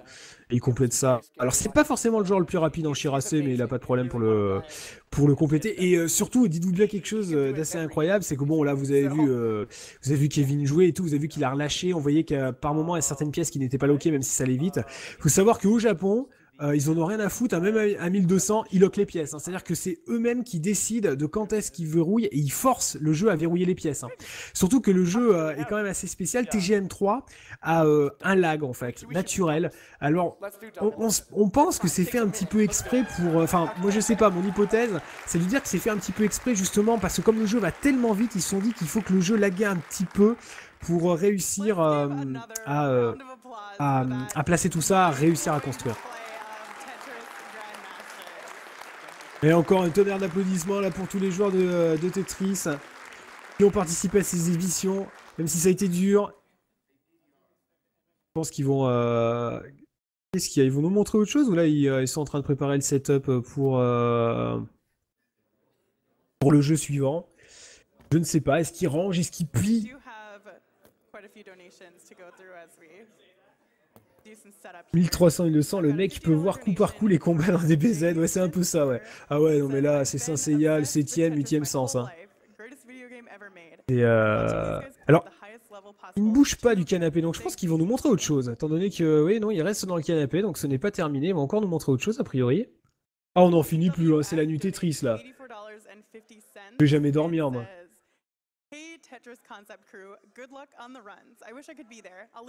Je sais pas, je sais pas s'ils veulent euh, montrer quelque chose ou si au final non c'est bon ils sont en train de ranger je pense non? Et nous qui sont en train de ranger on n'en peut plus. Parce que là ils nous ont tout montré là, ils peuvent pas nous montrer mieux hein. À part, euh, bah non, il n'y a plus rien à montrer là. Ils ont quand même montré un MM, euh, 1200. Merci, merci. Ah, c'était un grand, grand plaisir hein, de vous commenter ça. euh, c'est vrai que commenter du Grand Master euh, de cette qualité à la JDQ.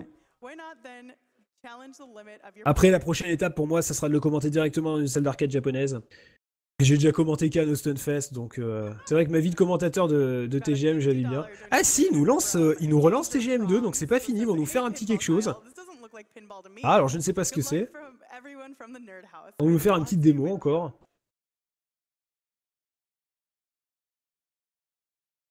Je ne sais pas, je vais découvrir avec vous ce que c'est. Temporary Landing System. Alors il y a des noms euh, très compliqués hein, dans TGM pour rien. C'est tout simplement le, délai, un TLS. you aiment bien mettre des, euh, abréviations partout. Euh, L'ARS hein, qui désigne donc l'Areca Rotation System. Alors je sais pas ce qu'ils vont faire, un petit peu de coop, qu'est-ce qu'ils ont... Ah oui, il y a deux 11 joueurs, ils vont peut-être nous faire un petit peu de coop là. Congrats Kevin on beating Shirase mode on TGM3 a few days ago. Ah bah c'est pas fini, hein, vous voyez, quand il y en a plus, il y en a encore. hein. On est là. euh. Ah désolé à ceux qui attendaient Shovel Knight et, et Megaman, hein, on a encore un peu de... Encore un peu de TGM, on n'en finit plus. Uh, so we said that we wouldn't show you doubles, but we lied. Non, c'est ça, en fait, ils vont montrer euh, le, le double. Alors c'est un mode assez particulier, euh, le, le double. Euh, c'est ce qu'on est en train de voir là d'ailleurs, euh, qui est en train de défiler. Euh, donc en fait vous construisez, euh, en fait vous construisez sur un même écran, euh, chacun avec votre distribution, et il faut bien sûr euh, pas que vos pièces se rencontrent, et il faut se synchroniser pour, euh, eh bien construire un peu chacun de votre côté, mais réussir à au final compléter quelque chose d'intéressant. Voilà. Voilà, ils se sont fait un petit peu peur là, vous avez vu, il y a des pièces. Oh, attention, là, il est reparti un peu bizarrement. Et du coup, il y a Kitaru qui est en train d'attendre. Euh, non, c'est Shift d'ailleurs, le joueur 2, Kitaru joueur 1. Donc, euh, Kitaru doit être à gauche a priori, et euh, Color Shift. Euh, je sais pas comment ils ont branché ça, parce que pour moi, euh, bref, faut voir un petit peu. Donc il y a un joueur, euh, ils vont poser, et vous voyez qu'ils vont poser à tour de rôle pour essayer de pas de s'en mêler les pinceaux, sauf quand euh, ils vont être réellement sûrs euh, de ce qu'ils ont fait, et ils doivent continuer à compléter le jeu alors que la vitesse va augmenter. Donc c'est c'est la natation synchronisée quelque part. hein. Il faut réussir à être complètement à l'intérieur du cerveau de l'autre hein, pour un peu voir. Alors même si vous voyez, ils se, laissent quand même un certain temps, hein. ils, ils bourrent pas tout de suite les pièces. Ils vont vraiment faire gaffe pour essayer de, euh, de trouver et euh, surtout de pas se chevaucher euh, dans la dépose de Tetraminos. Après, quand c'est votre côté, il n'y a pas de souci, vous pouvez le gérer. L'important, c'est pas croiser les pièces. Hein. Sûr, elles vont apparaître de plus en plus vite, il y a certaines choses que vous n'allez pas pouvoir faire. Allez, ça se passe, ça se passe bien. Alors en plus, ils sortent même un petit Tetris, tranquille. Les deux joueurs là s'entendent pas trop mal. En plus, on voit Kitaru qui, qui joue et qui commente en même temps. Voilà, parfait. Alors on se laisse les espaces avec les pièces qui vont bien. Ah, petit- peut-être une légère petite erreur là qui a été, euh, qui a été causée, mais ça va pas être un souci. Alors vous voyez que chacun des joueurs en plus font euh, des lignes de leur côté. Hein. C'est marrant. Past 300 is playing at instant gravity. So, in, At in, this moment, he's praying for his partner to actually hit 300. Ah, ils peuvent se parler en même temps quand ils jouent. No control over anything ever. so playing instant gravity in doubles is just a nightmare. Yeah, it is. So, Et ils continuent à essayer de se regarder, de se synchroniser. Pour moi, ça s'enchaîne pas trop mal. Et about 50 ah, on monte même un petit. Tetris hein, au centre. Alors bien sûr, oui, on euh, privilégier les Tetris au centre là dans cette construction, tout simplement parce que les spawns sont excentrés. Vous voyez vous avez des spawns qui se situent à gauche et à droite.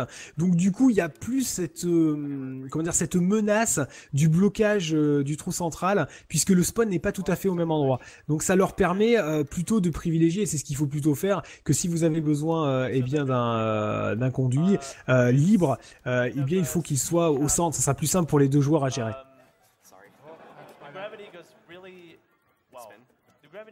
Voilà, là apparemment ils sont euh, mal. Attention. Erreur. Will actually rise up when it goes to 200. 200, it's gonna get. Allez, ils essaient quand même euh, de s'entendre au mieux. Alors c'est vrai que vous pouvez vous parler, hein, comme je disais. C'est bien sûr à prendre en compte. Ça reste bah, de la coop, hein. c'est de la coop sur Tetris. Mais c'est vrai que bien connaître le style de jeu de son partenaire, ça peut aider, savoir s'il va avoir plutôt tendance à poser à plat. Attention, il y a une petite erreur qui a été causée, qui a été faite. Alors, bien sûr, ça construit beaucoup moins vite hein, que si on avait du master. C'est parce qu'il y a deux constructions à gérer en même temps, il faut s'entendre. Et euh, après, en soi, ça peut, ça peut être vraiment très intéressant à voir jouer à très haut niveau avec des joueurs qui ont bien l'habitude. Vous voyez, des fois, il y a des. euh, ah, il y a un petit peu un raté, il y a une pièce qui a voulu traverser l'écran, se mettre dans le décalage de 2, mais malheureusement, euh, le, euh, le L debout ne s'est pas mis tout à fait au, au bon endroit. Il va falloir compléter ça. Alors, ce que vous remarquez aussi, hein, c'est que le, le Sonic Drop n'est pas utilisé. On utilise un petit peu de soft drop. De temps en temps, un petit peu de Sonic Drop, mais c'est quand même très très rare. Quand on est vraiment sur de son coup et que c'est sur, euh, sur son côté. Et la vitesse hein, continue, vous voyez, d'augmenter. Thief La vitesse de chute des pièces qui évolue. Et les joueurs qui uh, de faire avec. record. Pour le moment, ils s'en sortent pas trop trop mal. Hein. Et on voit que d'un moment, il y a des pièces qui sont placées simultanément là, qui se parlent mentalement. hein. C'est assez, euh, assez impressionnant à voir. euh, Ils arrivent à placer des successions de pièces dans un temps très très proche. Là, là, à 300, la musique s'arrête. Ça va devenir beaucoup plus difficile. Enfin, il y en a des deux joueurs qui est à, à 300. Oui, c'est Color Chief. Voilà, et alors là, le problème, c'est que vous êtes à 20 G et que du coup, vous ne pouvez pas euh, vraiment contrôler où vous allez envoyer la pièce. Donc ça devient excessivement dur de jouer euh, en double ici, puisque là, euh, bah, vous pouvez un petit peu déplacer la pièce sur le de la construction, mais vous pouvez éventuellement la précharger violemment pour essayer de la mettre à droite à gauche. Mais après, en termes d'entente et tout, ça devient quasiment injouable. Et vous voyez, là, ça n'évolue plus. Alors, les levels qui n'évoluent plus à partir de 300. Donc c'est ju- juste une histoire de, ré- de résistance. Oh, ils ont les, tous les deux atteint les 300 et ils ont terminé le jeu. Bien. Oh. Parfait. C'est ce qu'ils attendaient? Les deux ont réussi à bloquer le, jeu à 300 parce que bien sûr après euh, le jeu s'arrête hein, quand les deux ont atteint 300. Mais c'est qu'à partir du moment où un des joueurs a atteint 300, l'autre euh, bah, il doit essayer de faire ce qu'il peut parce que lui il a encore la possibilité, la mobilité sur ses pièces. Par contre l'autre il essaye de poser pour, si vous voulez, il essaye de euh, d'amoindrir les dégâts. Il fait vraiment ce qu'il peut pour ne pas trop gêner l'autre, mais il a un jeu quasiment incontrôlable et il a quand même, il a quand même là dans ces conditions euh, réussi à contrôler son jeu. Et ben voilà. Oh là là, cette démonstration qui n'en finit plus avec le double, qui était très sympathique. Ils ont complété le double aussi. Hein. C'est euh, pas évident, c'est pas évident. Comme il, le- comme le disait dans les commentaires à 300, euh, c'est très compliqué de gérer ça. Et ils nous auront fait euh, une belle démonstration. Que vous pouvez retrouver tous ces joueurs hein, sur euh, le forum euh, et à Wiki Tetris Concept. N'hésitez pas aussi à, à les suivre individuellement. Vous avez quand même vu du très beau Tetris et j'espère que ça vous aura plu. En tout cas, moi j'aurais pris un énorme plaisir de commenter ça. Et encore félicitations, hein, bien sûr, à tous ces joueurs, au MM de, de Kevin, son S11, à la démonstration de tous les joueurs. Dommage pour Kitaru, mais euh, aussi belle performance du double. On aura vécu euh, une bonne, euh, je sais pas, ça a duré quoi, une bonne heure et demie quoi, du coup, là, la démonstration. 40 000 personnes sur le, chat, euh, sur le chat, sur le stream Twitch hein, officiel pour suivre du Tetris. Une bonne représentation de, euh, ce jeu et de sa communauté, même si euh, elle s'amenuise au fur et à mesure. C'était c'était bien cool. J'espère que ça vous aura permis euh, bah, de découvrir euh, ce, Tetris euh, voyez, qui, va, euh, qui va très vite et qui est très très très impressionnant. Et ça va un petit peu plus loin que du Tetris basique. Alors c'est vrai qu'on peut se dire voilà Tetris c'est juste très très basique, il se passe il se passe rien, c'est toujours faire des lignes. Sauf que le Tetris TGM reste quand même voilà quelque chose qui qui va au-dessus. On est vraiment dans le domaine là du super play pour le coup avec plein de modes qui sont euh, tous relativement intéressants à jouer. Euh, mais euh, c'est vrai que les, privilégiés, bah, c'est le Master Mode et le TADS et ses équivalents sur, euh, sur GM3. Et ça, fait, ça fait vraiment plaisir d'avoir pu assister à ça et de vous le commenter eh bien, sur le Restream FR hébergé par jeuxvideo.com. Et ça, c'est. C'est pas, une petite chose. Hein. Franchement, je trouve que c'est pas une petite chose. Quand je pense, moi, je voyais les AGLQ à l'époque de, de eLive, et même moi, quand je commentais euh, du TGM à l'époque sur eLive, et aujourd'hui, on commentait euh, sur le Twitch officiel de, de JVC, que de chemin parcouru. Et encore une fois, euh, c'est plutôt cool hein, d'av- d'avoir pu euh, vous présenter tout ça ici. Alors que, ah voilà, il y a plein de gens qui me rejoignent là pour euh, commenter du, du Shovel Knight. Euh, je ne sais pas qui j'accueille, Mamie Lamy peut-être? Ou pas Oui, oui, salut Sephiroth. c'est ça, vous êtes là. Vous allez pouvoir euh, Salut, prendre la- Salut à vous. On va prendre la relève pour euh, du Shovel Knight. Si mon, cœur, que- ça, si mon cœur repart à un rythme normal. Encore Tetris, pas- ouh, Ah, c'était violent. hein. C'est vrai que ça a éveillé, euh, ça a réveillé même. hein, Même si là, euh, ce serait bien d'aller dormir quand même pour certains. parce qu'on peut plus. Les journées sont longues. Les journées sont très très longues, mais en effet, ouais, c'était euh, c'est quand même un événement euh, assez euh, assez fort et euh, bien représenté. Donc euh, voilà, on va se coucher avec des étoiles dans les yeux. Très belle game et très beau hein. commentaire, hein, en tout cas. Euh, par contre, je vais profiter de, du setup pour balancer quelques petites pubs. Donc, Oui, un- une petite deux minutes de pub et après, ben, on enchaîne sur Shovel Knight. Voilà, bah moi j'en profite pour dire au revoir à tout le monde et puis euh, bonne chance euh, pour euh, les runners et aussi pour euh, vous deux qui allez commenter donc le Shovel Knight. Allez, salut à tous, euh, passez encore du bon temps euh, pour euh, ces, euh, ces heures et ces quelques jours qui restent encore de la GDQ. Ciao, ciao Salut Sophie. Salut, c'est fait, merci à toi. Salut